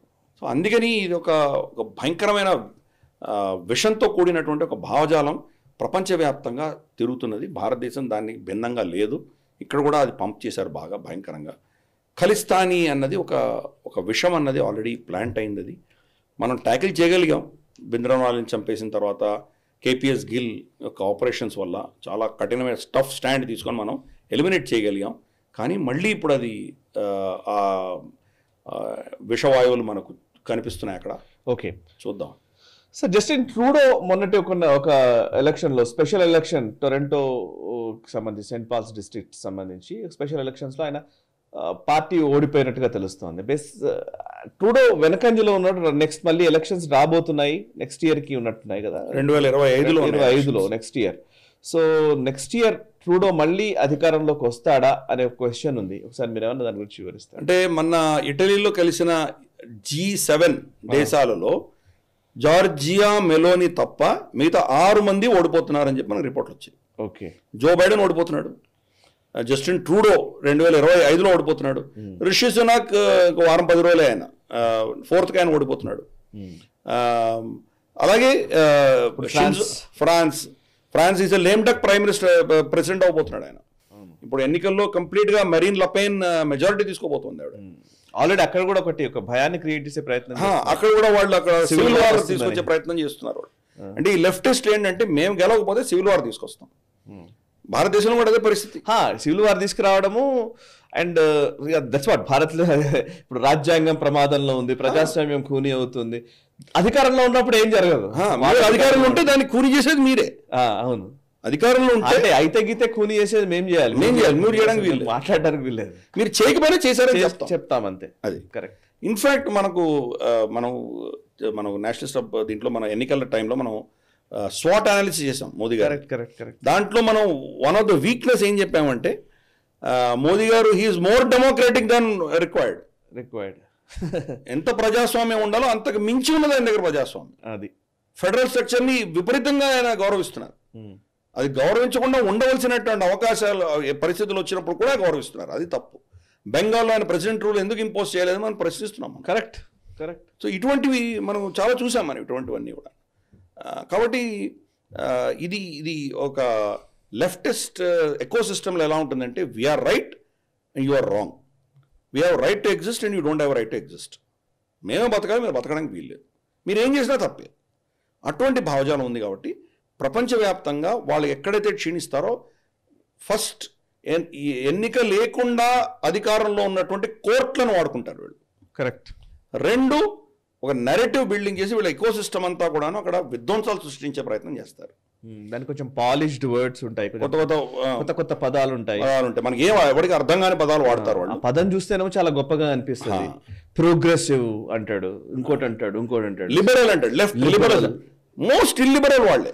అవును మోస్ట్ ఎందుకంటే వాళ్ళు కాకుండా ఇంకో భాగాలు ఉందంటే వాళ్ళు దాన్ని యాక్సెప్ట్ కూడా చేయరు. యాక్సెప్ట్ అటువంటి వాడు లిబరల్ ఎలా అవుతాడు? కాబట్టి ఇదంతా వాళ్ళకు వాళ్ళు ఇచ్చుకున్న బిరుదులు ఇవన్నీ. వీళ్ళ వల్ల ప్రపంచానికి చాలా కంటకగా ఉంది. ఈరోజు యూరోప్లో క్రమేపీ సో కాల్డ్ రైట్ వింగర్స్ అంటే ఈ లెఫ్ట్ని తిరస్కరిస్తూ రైట్ వింగర్స్ గెలుస్తున్నారు. మీరు గెలిస్తే మేము ఇక్కడ సివిల్ వార్ తీసుకొస్తామని వాళ్ళని బెదిరిస్తున్నారు ఫ్రాన్స్ లాంటి దేశాల్లో. అలాగే మనకు ట్రంప్ అక్కడ గెలవబోతున్నాడు ఆయన. సరే వీళ్ళు ఎలక్టోరల్ మాల్ ప్రాక్టీస్ చేసి గెలిస్తే ఒకవేళ గెలిచినా అది పరిస్థితి అక్కడ కూడా సివిల్ వార్ వచ్చేటువంటి ప్రమాదం అక్కడ అమెరికాలో కూడా లేకపోలేదు. మోదీ గారిని ఎలా వీళ్ళు కృంగదీసే ప్రయత్నం చేశారో భారతదేశంలో అది కూడా చూసాం మనం. కాబట్టి ఈ లెఫ్ట్ లిబరల్స్ ఏంటంటే మేము మాకు వ్యతిరేకంగా మీరు ఓటేసే అధికారం మీకు లేదు. సో అన్ఫార్చునేట్లీ సెంట్ పాల్స్ అన్నటువంటి ఈ డిస్ట్రిక్ట్ ఏదైతే ఉందో గత ముప్పై ఏళ్ళుగా వాళ్ళే గెలుస్తున్నారు. కన్సర్ లెఫ్ట్ లెఫ్టిస్ట్ అంటే లెఫ్ట్ భావజాలం ట్రూడో వాళ్ళ పార్టీలో గెలుస్తున్నాయి. అటువంటిది ఈసారి అటువంటి టొరంటోలో ఉన్నటువంటి సెంట్ పాల్స్ అతను ఓడిపోవడం అన్నది దేనికి సంకేతం? తన కోర్ ఓటర్స్ దానికి వ్యతిరేకంగా నిలబడ్డారని అర్థం చేసుకో అర్థం చేసుకోవచ్చు మనం. పైపెచ్చు మొన్న ఒక పబ్లిక్ మీటింగ్లో ఆయన మాట్లాడుతుంటే ఒక స్త్రీ అక్కడ లేచి నువ్వు కెనడా కోసం పనిచేయట్లేదు నువ్వు ఇంటర్నేషనల్ గ్లోబలిస్ట్ ఎవరైతే నీకు పైసలు ఇస్తున్నారో ఎంత పైసలు ఇచ్చారో వాళ్ళకు ఒత్తాసు పలుకుతున్నావు. నువ్వు ఈ దేశానికి ఏం పని చేయట్లేదు. దేశ ద్రోహివి అని ఆవిడ తిట్టింది ఆవిడ. ఓపెన్గా పబ్లిక్ ఫోరంలో తిట్టింది ఆవిడ. జస్టిన్ ట్రూడోని. So Justin Trudeau is a typical dynast. వాళ్ళ నాన్న ప్రైమ్ ప్రైమ్ మినిస్టర్గా ఉండేవాడు ఇప్పుడు ఈయన ప్రైమ్ మినిస్టర్. కాబట్టి సమాజం ఏంటి తెలియదు ఈ ఓట్ బ్యాంకు సమాజాన్ని ఎలా చీల్చాలి సమాజాన్ని ఎలా విద్వేషాలు సృష్టించి మనం గెలవాలి ఆ భావజాలమే. Carbon copy Rahul Gandhi. Perfect. నేను అది ఎగ్జాక్ట్ నా నోట్ నుంచి వస్తుంది మీరు అన్నారు. కరెక్ట్. ఒకసారి నేను వీడియో చేస్తాను సిమిలారిటీస్ అన్నింటినీ కలిపి. యా అల్ ట్రై ఇంకోటి ఏంటంటే సార్ పాకిస్తాన్కి సంబంధించిన వార్త ఉంది సార్. పాకిస్తాన్లో డిఫెన్స్ మినిస్టర్ ఖ్వాజా ఆసిఫ్ సోమవారం నాడు targeted violence in the name of religion జరుగుతోంది. అది మైనారిటీస్ పాకిస్తాన్లోని మైనారిటీల పైన దాడులు జరుగుతున్నమాట వాస్తవమే. వాళ్ళు సేఫ్గా లేరు అని అంగీకరించాడు. సో దీని గురించి మీరు చెప్తారా ఏమైనా? అంటే మీరు గత డెబ్బై ఐదు ఏళ్ళుగా మీకు తెలియదా ఈరోజు తెలిసిందా మీకు? పోయి తెలిసింది అనుకున్నాం ఈరోజు తెలిసింది అనుకున్నాం. దాన్ని మీరు ఏమైనా చేయగలరా? ఏమైనా చేయగలరా? ఏమైనా ఆపగలరా?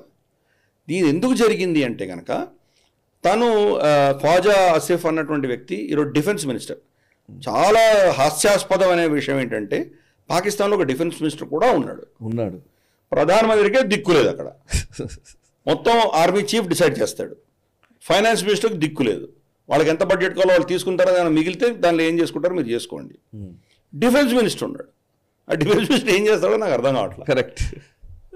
So anyway defence minister వచ్చేసి ఇప్పుడు ఆఫ్ఘనిస్తాన్లో మనకు నేవీ చీఫ్ని పెడితే ఎలా ఉంటుందో అలా ఉంటుంది ఇది. ల్యాండ్ లాక్డ్ దేశం. అక్కడ నేవీ చీఫ్ ఎలా ఉంటాడు? అలాంటిది పాకిస్తాన్లో ఎవడైనా డిఫెన్స్ మినిస్టర్ అంటే ఏం చెప్తాం? సో ఖ్వాజా అసీఫ్ ఉన్నాడు ఏదో పార్క్ చేశారు. అతను ఎక్కడ గెలిచాడంటే సియాల్కోట్లో గెలిచాడు అతను. సియాల్కోట్ కాన్స్టిట్యుయెన్సీలో గెలిచాడు కాబట్టి తన కాన్స్టిట్యుయెన్సీ నుంచి వెళ్ళినటువంటి ఒక పర్యాటకుడు మనకు స్వాత్ వ్యాలీకి వెళ్తే అక్కడ అతను వాళ్ళ ఖురాన్ ఏదో తగలబెట్టాడని పెద్ద అభియోగం మోపితే పోలీసులు వచ్చి అరెస్ట్ చేసి అతన్ని జైల్లో పెట్టారు. జైల్లో పెడితే వీళ్ళు మూక పెద్ద మూక వచ్చి దాడి చేసి పోలీస్ స్టేషన్ తగలబెట్టి అతన్ని చంపారు. చంపి అతని మీద కెరోసిన్ పోసి తగలబెట్టారు అతన్ని. ఇది తన కాన్స్టిట్యుయెన్సీలో జరిగింది కాబట్టి ఈరోజు నోరు మెలిపి మెదిలిపి కనీసం మాట్లాడాడు ఖాజా ఆసిఫ్ ఉమ్, ప్రతిరోజు మన హిందూ స్త్రీ హిందూ అమ్మాయిలను వాళ్ళు ఎత్తుకుపోయి మూడో భార్యగానో నాలుగో భార్యగానో నిక్కా చేసి నాలుగు రోజుల వాళ్ళని ఆ, వేశ్యలుగా వదులుతున్నటువంటి ఉదంతం గురించి ఇతను మాట్లాడలేదు. ప్రతి సంవత్సరం నాలుగైదు ప్రాంతాల్లో క్రిస్టియన్ చర్చిలను తగలబెడుతున్నారు. క్రిస్టియన్ క్రిస్మస్ వస్తే వాళ్ళు బిక్కు బిక్కు అనుకుంటూ వాళ్ళు చర్చలకు వెళ్ళేటువంటి పరిస్థితి. మరి అప్పుడంతా వీడు ఏం చేశారు? ప్రభుత్వం మీదే కదా? మీరేం చేశారు? మైనారిటీలకు వాళ్ళకు హక్కు లేదు వాళ్ళకు మైనారిటీలకు శక్తి లేదు ఇవన్నీ చెప్పడానికి బాగానే ఉంది. యాక్షన్ ఏంటి మీ దగ్గర? యాక్షన్ ఏంటి? బ్లాస్ఫమీ లా అని చట్టం కూడా పెట్టారు మీరు. కరెక్ట్ చట్టాన్ని ఇంప్లిమెంట్ చేయాల్సింది ఎవరు? పోలీసు కోర్టులు. ఉమ్, ఒక్క బ్లాస్ఫమీ కేసులో కూడా ఏంటంటే మత విరోధమైనటువంటి కార్యక్రమ కార్యకలాపాలకు సంబంధించినటువంటి విషయాల్లో ఒక్క కేసులో కూడా కోర్టులు నిర్ణయించట్లేదు.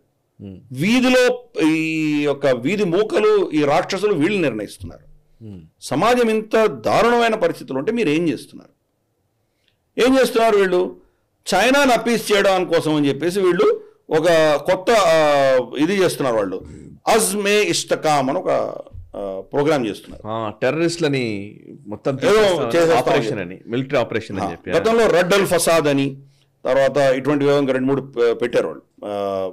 ఇవన్నీ ఇటువంటి కార్యక్రమాలు చేసి ఏం చేశారంటే అన్నం పున్న ఎరుగనటువంటి గ్రామస్తుల మీద బాంబులేసి వాళ్ళ శవాలకు ఫోటోలు వీడియోలు చూ తీసి అమెరికాకు చూపించారు. చూడు మేము యాంటీ టెర్రర్ ఆపరేషన్ చేస్తున్నాం మేము. మాకు ఎఫ్ సిక్స్టీన్లు కావాలి. మాకు వాళ్ళ ప్రజలు చంపుకోవడానికి ఎఫ్ సిక్స్టీన్లు కావాలి వాళ్ళు. యాక్చువల్గా ఆఫీషియల్గా ఎఫ్ సిక్స్టీన్ డీల్ అమెరికాతో ఎలా ఉందంటే ఇది మీరు వేరే దేశం మీద వాడడానికి వీల్లేదు. అభినందన్ వర్ధమాన్ కేసులో వాళ్ళు వాడినందుకు అమెరికా కూడా నోరు మూసుకొని ఉంది. ఎందుకంటే అది వైలేషన్ అది. ఆ వైలేషన్ ప్రకారం ఎఫ్ సిక్స్టీన్ వెనక్కి తీసుకోవాలి. సో ఎనీవే అది అది వేరే డిఫరెంట్ స్టోరీ కానీ ఈ అస్త్రాలు వాళ్ళ ప్రజల మీద వాడుకుంటారు.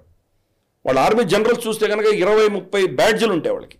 వాళ్ళు ఏ యుద్ధాలు చేశారు ఎక్కడి నుంచి వచ్చాయి బ్యాడ్జీలు అవన్నీ? వాళ్ళ ప్రజల్ని చంపుకుంటారు. అలాగే ఈ అజ్మే ఇస్తకాం పేరిట వాళ్ళ ప్రజల్ని వాళ్ళు చంపి చైనాకు చూపిస్తారు. చూడు మేము చాలా అద్భుతంగా చేసామని చెప్పుకుంటారు. కరెక్ట్. ఆ పైసలు తీసుకుంటారు. అంటే ఏ ఏది రాష్ట్రమైనా కంప్లీట్గా సిగ్గు చచ్చిపోయి వాళ్ళకు ప్రజల మీద ఎటువంటి గౌరవం లేనటువంటి ప్రభుత్వం ప్రపంచంలో ఏదైనా ఉందంటే పాకిస్తాన్. ఓకే. కాబట్టి ఈరోజు అటువంటి వ్యక్తిని వాళ్ళు తగలబెట్టి చంపితే గత రెండు మూడు సంవత్సరాల్లో ఆల్రెడీ నాలుగైదు ఘటనలు జరిగాయి ఇలాంటివి. ఏం చేయగలుగుతున్నారు? అండ్ ఇంకొకటి deputy P prime minister of Pakistan Ishaq Dar ఏమో మా ఇండియాతో చర్చలకు లేదా ఇండియాతో సన్నిహిత సంబంధాలకు సిద్ధమంటూ ఒక చిన్న స్టేట్మెంట్ ఇచ్చారు. Neighbourly friend neighbour friendly something అట్లాంటి స్టేట్మెంట్ ఇచ్చారు. అండ్ ఇంకొక వైపు ఏమో జమ్మూ అండ్ కాశ్మీర్ ఆపరేషన్స్లో మనకు తారసపడ్డ అంశం ఏంటంటే లైన్ ఆఫ్ కంట్రోల్ దగ్గర జరిగిన టెర్రర్ ఇన్సిడెంట్స్లో చైనాకి సంబంధించినటువంటి టెలికాం గేర్ అల్ట్రా సెట్స్ అక్కడ దొరికినట్టుగా తెలుస్తోంది. సో చైనా పాత్ర కూడా ఇప్పుడు మన దేశంలో అంటే మనం ఇంతకు ముందు కూడా మాట్లాడాం చైనీస్ గన్స్ కానీ అమ్యునిషన్ అవన్నీ కూడా పాకిస్తాన్ ద్వారా భారతదేశంలోకి తీసుకొచ్చి టెర్రర్ యాక్టివిటీస్ చేస్తున్నారు అని. ఇప్పుడు దానికి ఇంకొక ఆధారం కూడా జోడించబడింది. కరెక్ట్. అంటే ఇప్పుడు వాళ్ళ ఇషాక్ దార్ అనేటువంటి వ్యక్తి deputy prime minister. Deputy prime minister. Perpetual hostility మాకు ఉండదు అని ఒక స్టేట్మెంట్ ఇచ్చాడు. అంటే మేము ఇంకా కాలాంతం వరకు మేము భారతదేశం తోటి శత్రుత్వం పెట్టుకోదలుచుకోలేదు. శాశ్వతమైన శత్రువులు. ఉండలేదు అని చెప్పి స్టేట్మెంట్ ఇచ్చాడు. అంటే ఇందాక మనం అనుకున్నాం కదా మనకు వాళ్ళకు డిఫెన్స్ మినిస్టర్ ఎంత హాస్యాస్పదమో. Deputy prime minister deputy prime minister అంతే అంతే హాస్యాస్పదం. భారతదేశంతో మేము శాశ్వతమైన శత్రువులను పెట్టుకోవడం అనేది అంతకంటే హాస్యాస్పదం అది. ఆ దేశం పుట్టిందే హిందువులు భారతదేశం పట్ల ఒక విధమైనటువంటి హేట్రెడ్ వల్లే పుట్టింది అది. మీరు కనుక ఆ విషయం తీసేస్తే పాకిస్తాన్ లేదు ఇంకా. పాకిస్తాన్ ఉండవలసిన ఆవశ్యకత లేదు. కాబట్టి అది పాకిస్తాన్ ఉన్నంత వరకు ఉంటుంది. అంటే శాశ్వతంగా ఉంటుంది. ఎంత శాశ్వతం అంటే పాకిస్తాన్ ఉన్నంత వరకు శాశ్వతంగా ఉంటుంది. అదే. పాకిస్తాన్ పోతే ఎలాగో పోతుంది అది. అది వేరే కథ. సో అటువంటి పరిస్థితుల్లో ఇతను ఇచ్చిన స్టేట్మెంట్ ఎంత హాస్యాస్పదం అర్థం చేసుకోవచ్చు. రెండవది తను స్టేట్మెంట్ ఇచ్చాడు కానీ ప్రైమ్ మినిస్టర్ ఎందుకు ఇవ్వలేదు? ప్రైమ్ మినిస్టర్కే దిక్కు లేదు ప్రైమ్ మినిస్టర్కే శక్తి లేదు. ఓన్లీ అసీం మునీర్ డిసైడ్ చేస్తాడు. సో అసీం మునీర్ ఏమైనా స్టేట్మెంట్ ఇచ్చాడా? ఏమీ ఇవ్వలేదు. సో అటువంటి పరిస్థితుల్లో మనం అక్కడ ఎవరిని కూడా నమ్మేటువంటి పరిస్థితి లేదు. ఓకే. అందుకని ఎన్నికల సమయంలో మోదీ గారు ఇచ్చిన స్టేట్మెంట్ మనం విన్నాం చాలా క్లియర్గా. వాళ్ళకు రెండు రూ- రెండు పూట్ల వాళ్ళకు రొట్టెలు దొరికితే కనుక అది సంతోషం. వాళ్ళతో మేమేం మాట్లాడక్కర్లేదు. వాళ్ళకి మాకేం సంబంధం లేదు. వాళ్ళని వదిలేయండి. ఆ విషయం నన్ను అడగండి అని చెప్పారు ఆయన. ఓకే సార్ చివరిగా ఒక అంశము. బొలీవియా ఆ, లో కూకి ప్రయత్నం చేశారు. ఆర్మీ సోల్జర్స్ని వాళ్ళని. మొత్తానికి ఆ కూ జరగకుండా అడ్డుకోవడం జరిగింది. అండ్ కెన్యాలో కొంత ప్రొటెస్ట్లు జరుగుతున్నాయి. ఒకసారి ఈ విషయాన్ని గురించి కొంచెం వివరిస్తారా? ఏం జరుగుతుంది అసలు బొలీవియాలో ఏంటి? అంటే ఈ రెండు కూడాను చైనాతో ముడిపడి ఉన్నాయి. చైనా తోటి చైనా యొక్క అప్పుల ఊబిలో ఈ రెండు ఇరుక్కున్నాయి. ఓకే. ఆ దేశంలో ఎటువంటి మార్పులైనా తీసుకురావాలంటే కనుక రెసిస్టెన్స్ వస్తుంది. ఫర్ ఇన్స్టెన్స్ కెనియాలో మనం చూసామని కనుక కెనియన్ ప్రెసిడెంట్ ఎవరైతే రూటో అన్నటువంటి వ్యక్తి ఎవరైతే ఉన్నారో అతను ఒక కొత్త ప్రతిపాదన ప్రభుత్వం ఏం తీసుకొచ్చిందంటే ట్యాక్సులు పెంచాలి అని నిర్ణయించారు. అక్కడ ఆ, కెనియాలో పరిస్థితి ఏంటంటే సడన్గా డాలర్ వాళ్ళ అప్పులన్నీ డాలర్ రూపేణ ఉన్నాయి. చైనాకి ఇవ్వడం అన్ని డాలర్ రూపేణ ఉన్నాయి. కానీ వాళ్ళ కరెన్సీ షిల్లింగ్ ఏదైతే ఉందో డాలర్తో పోలిస్తే కనుక చాలా గణనీయంగా పతనం చెందింది. అది కాబట్టి వాళ్ళ అప్పులు అంటే వంద డాలర్లు గతంలో ఇవ్వడానికి వాళ్ళు కనుక వంద షిల్లింగ్లు అంటే ఊరికే ఉదాహరణ చెప్తున్నాను. వంద షిల్లింగ్లు ఇవ్వవలసిన పరిస్థితి ఉంటే ఈరోజు మూడు వందల షిల్లింగ్లు ఇచ్చేటువంటి పరిస్థితికి వచ్చారు వాళ్ళు. కాబట్టి వాళ్ళ అప్పులు వీళ్ళు ఏమి చేయకుండా కొత్త అప్పులు తీసుకోకుండా ఆ దేశం యొక్క రుణం గణనీయంగా పెరిగిపోయింది. దాంతో తీర్చుకోలేనటువంటి పరిస్థితుల్లో వాళ్ళు అప్పులు అంటే ఆదాయం పెంచుకునే దిశగా ట్యాక్సులు పెంచాలని ప్రయత్నం చేశారు దానికి వ్యతిరేకంగా భయంకరమైన ఉద్యమాలు వచ్చి ఇరవై మూడు మంది చనిపోయారు అక్కడ. తో ఫైనల్గా దాన్ని విత్డ్రా చేసుకున్నాడు ఆయన. నేను ఓకే ఇది చట్టాన్ని నేను ఉపసంహరిస్తున్నానని బయటకు వచ్చాడు. అది తీసేశాడు ఆయన. అయినా ఒక జ్వాలలు ఆగట్లేదు కెనియాలో. బొలీవియా కూడా అదే పరిస్థితి. బొలీవియాలో కూడా ఒక ఆర్మీ ఆఫీసర్ని అతను డిస్మిస్ చేసిన తర్వాత అతను కూ చేసి అక్కడ వెళ్ళి అటాక్ చేయడం ఇవన్నీ జరిగింది. దీంట్లో కూడా మనకు ఒక డిఫరెంట్ న్యూస్ వస్తుంది మనకి. ఎవరైతే ఈ కూ చేశాడో అతన్ని అరెస్ట్ చేసినప్పుడు రిపోర్టర్స్ అడిగితే ఆయన ఏం చెప్పాడంటే ప్రెసిడెంటే నన్ను ఇది చేయమని చెప్పాడు అని చెప్తున్నాడు అతను. ప్రెసిడెంట్ ఆదేశం ప్రకారమే నేను చేశాను అంటున్నాడు. ప్రెసిడెంట్ అన్న గౌరవం కానీ ప్రభుత్వం మారుస్తాను. ఏదో వెళ్ళాడు దొరికిపోయాడు ఏదో అయింది. అంటే ఆ ప్రభుత్వం కూడా అక్కడ ఉన్నటువంటి పరిస్థితులు గడ్డు పరిస్థితులు ఏవైతే ఉన్నాయో ఆ దేశంలో ఫారెక్స్ రిజర్వ్స్ పడిపోవడము రెవెన్యూస్ పడిపోవడము అప్పుల బాధ తట్టుకోలేనటువంటి పరిస్థితి. ఈ పరిస్థితుల్లో ప్రజల్ని ఏదో మభ్యపెట్టి డైవర్ట్ చేయడానికి చేస్తున్నటువంటి ఒక విషయం కింద మనం భావించవచ్చు. కరెక్ట్. సేమ్ థింగ్ కెన్యాలో కానీ ఇక్కడ కానీ మనకు శ్రీలంక గురించి తెలుసు మనకి. శ్రీలంక ఎలా నష్టపోయిందో అది దివాళా తీసిందో మనం చూసాం మనం. భారతదేశం వాళ్ళకి ఆపన్నహస్తం ఇవ్వడంతో నాలుగున్నర బిలియన్ డాలర్స్ వాళ్ళు ఇచ్చి ఆదుకున్నాం. ఈరోజు రనిల్ విక్రమసింగే అఫీషియల్గా ఒక స్టేట్మెంట్ ఇచ్చాడు ఆయన. ఐఎంఎఫ్ వాళ్ళకి ఫండింగ్ ఇస్తోంది ఇప్పుడు. ఫండింగ్ అప్రూవ్ చేశారు వాళ్ళు. మేము అటువంటి పరిస్థితి నుంచి బయటపడ్డాము అని స్పష్టంగా చెప్పడం జరిగింది. దానికి భారతదేశం ఉంది కాబట్టే మేము ఈరోజు నిలబడగలిగాము అని స్పష్టంగా ఇచ్చాడు ఆయన. నెక్స్ట్ ఇమ్మీడియట్గా పాకిస్తాన్ కొలాప్స్ అవుతుంది. మనం చూస్తున్నాం అది. మాల్డీవ్స్ కొలాప్స్ అవుతోంది. నేపాల్ కొలాప్స్ అవుతోంది. బొలీవియా కొలాప్స్ అయింది. వెనేజువేలా దెబ్బతింటోంది. చిలీ దెబ్బతింటోంది. అలాగే ఆఫ్రికాలో ఎన్నో దేశాలు కెన్యా ఒకటే కాదు చాలా దేశాలు దెబ్బతింటున్నాయి. ఇవన్నీ కూడాను చైనా యొక్క అప్పుల ఊబిలో ఇరుక్కొనున్న దేశాలన్నీ దెబ్బతింటున్నాయి. సో ఇవన్నీ కూడా లింక్డ్ ఇవన్నీ. సో అప్పుడు ఏమవుతుందంటే సామాజిక అస్థిరత అనేది దేశాల్లో రాబోతుంది. సామాజిక అస్థిరత వచ్చినప్పుడు మరి దాన్ని ఎలా దేశాలు హ్యాండిల్ చేస్తాయో చూడాలి మనం. డెమోక్రటిక్ దేశాలు కూడా నియంతృత్వం దిశగా వెళ్ళవలసిన ఆవశ్యకత రావచ్చు. ఎందుకంటే అక్కడ ట్యాక్స్లు ఇంపోజ్ చేయాలి. కొంత ఆదాయం పెంచే దిశగా కొన్ని ప్రయత్నాలు చేయాల్సి వస్తుంది వాళ్ళు. అటువంటిప్పుడు ఏ- దిశగా వెళ్తుందో మనకు తెలియదు. ప్లస్ వాళ్ళని ఎక్స్ప్లాయిట్ చేస్తున్న చైనాకు వ్యతిరేకంగా వీళ్ళు ఏం చేస్తారో అది కూడా చూడాలి. కరెక్ట్ కాబట్టి రాబోయే రోజుల్లో చైనా క్షీణిస్తున్నది. చైనా హస్తం ఏ ఏ దేశాల మీద ఉందో అవన్నీ కూడాను భస్మాసురుడు హస్తంలా వాళ్ళందరూ దెబ్బతింటున్నారు. బొలివియాలో కెనియాలో దాని యొక్క పరిణామాలు ఈరోజు చూస్తున్నాం మనం. ఎస్ సార్ నిజంగానే. బేసికల్లీ అసలు నిజంగా ప్రపంచంలో ఒక్కొక్క దేశం ఒక్కొక్క దేశంలోని పరిస్థితులు అవన్నీ చూస్తూ ఉంటే మీరు చెప్తున్నది వింటూ ఉంటే లాస్ట్ రెండు మూడు సంవత్సరాలు రెండు సంవత్సరాలు మూడు సంవత్సరాలుగా చేస్తున్న గ్లోబల్ రౌండప్లో కావచ్చు అనేక రకాల డిబేట్స్లో చూస్తూ ఉంటే ఇన్ని కాన్ఫ్లిక్ట్స్ మధ్య ప్రజలు లేదా మనుషులు బతుకుతూ ఉన్నారు. ఎవరి ఇంట్రెస్ట్లు వాళ్ళయి ఎవరి ఆ లెక్కలు వాళ్ళయి ఎన్నో వైవిధ్యాలు ఎన్నో విభిన్నమైనటువంటి అంశాలు విభిన్నమైనటువంటి సమస్యలు అనేకం జరుగుతున్నాయని కళ్ళకు కట్టినట్టుగా మాకు కనబడుతోంది యాక్చువల్లీ. ఎక్కడికి వెళ్ళకపోయినా ఏ ప్రాంతానికి వెళ్ళకపోయినా చాలా ప్రాంతాల్లోని సమస్యల గురించి అవగాహన పెంపొందించే ఒక ప్రయత్నం నేషనల్ స్టెప్ చేస్తోంది మీ వల్ల. So really thank you very much. అంటే మనం మన ఉద్దేశం ఏంటంటే ఇటువంటి అతలాకుతలమైనటువంటి ప్రపంచంలో మనం ఎందుకు హాయిగా ఉన్నాం? కరెక్ట్ మనం సురక్షితంగా ఎందుకు ఉన్నాం? ఇది మన ప్రజలు అర్థం చేసుకోవాలనే ఉద్దేశంతో మనం చెప్తున్నాం. సరే మన తప్పులు కూడా మనం చెప్తున్నాం. Correct. ఏమైనా తప్పులు చేసినా కూడా చెప్తున్నాం మనం. కానీ ఇంతటి బురదలో నిజంగా వికసిస్తున్నటువంటి కమలాన్ని కూడా గుర్తించాలి కదా మనం?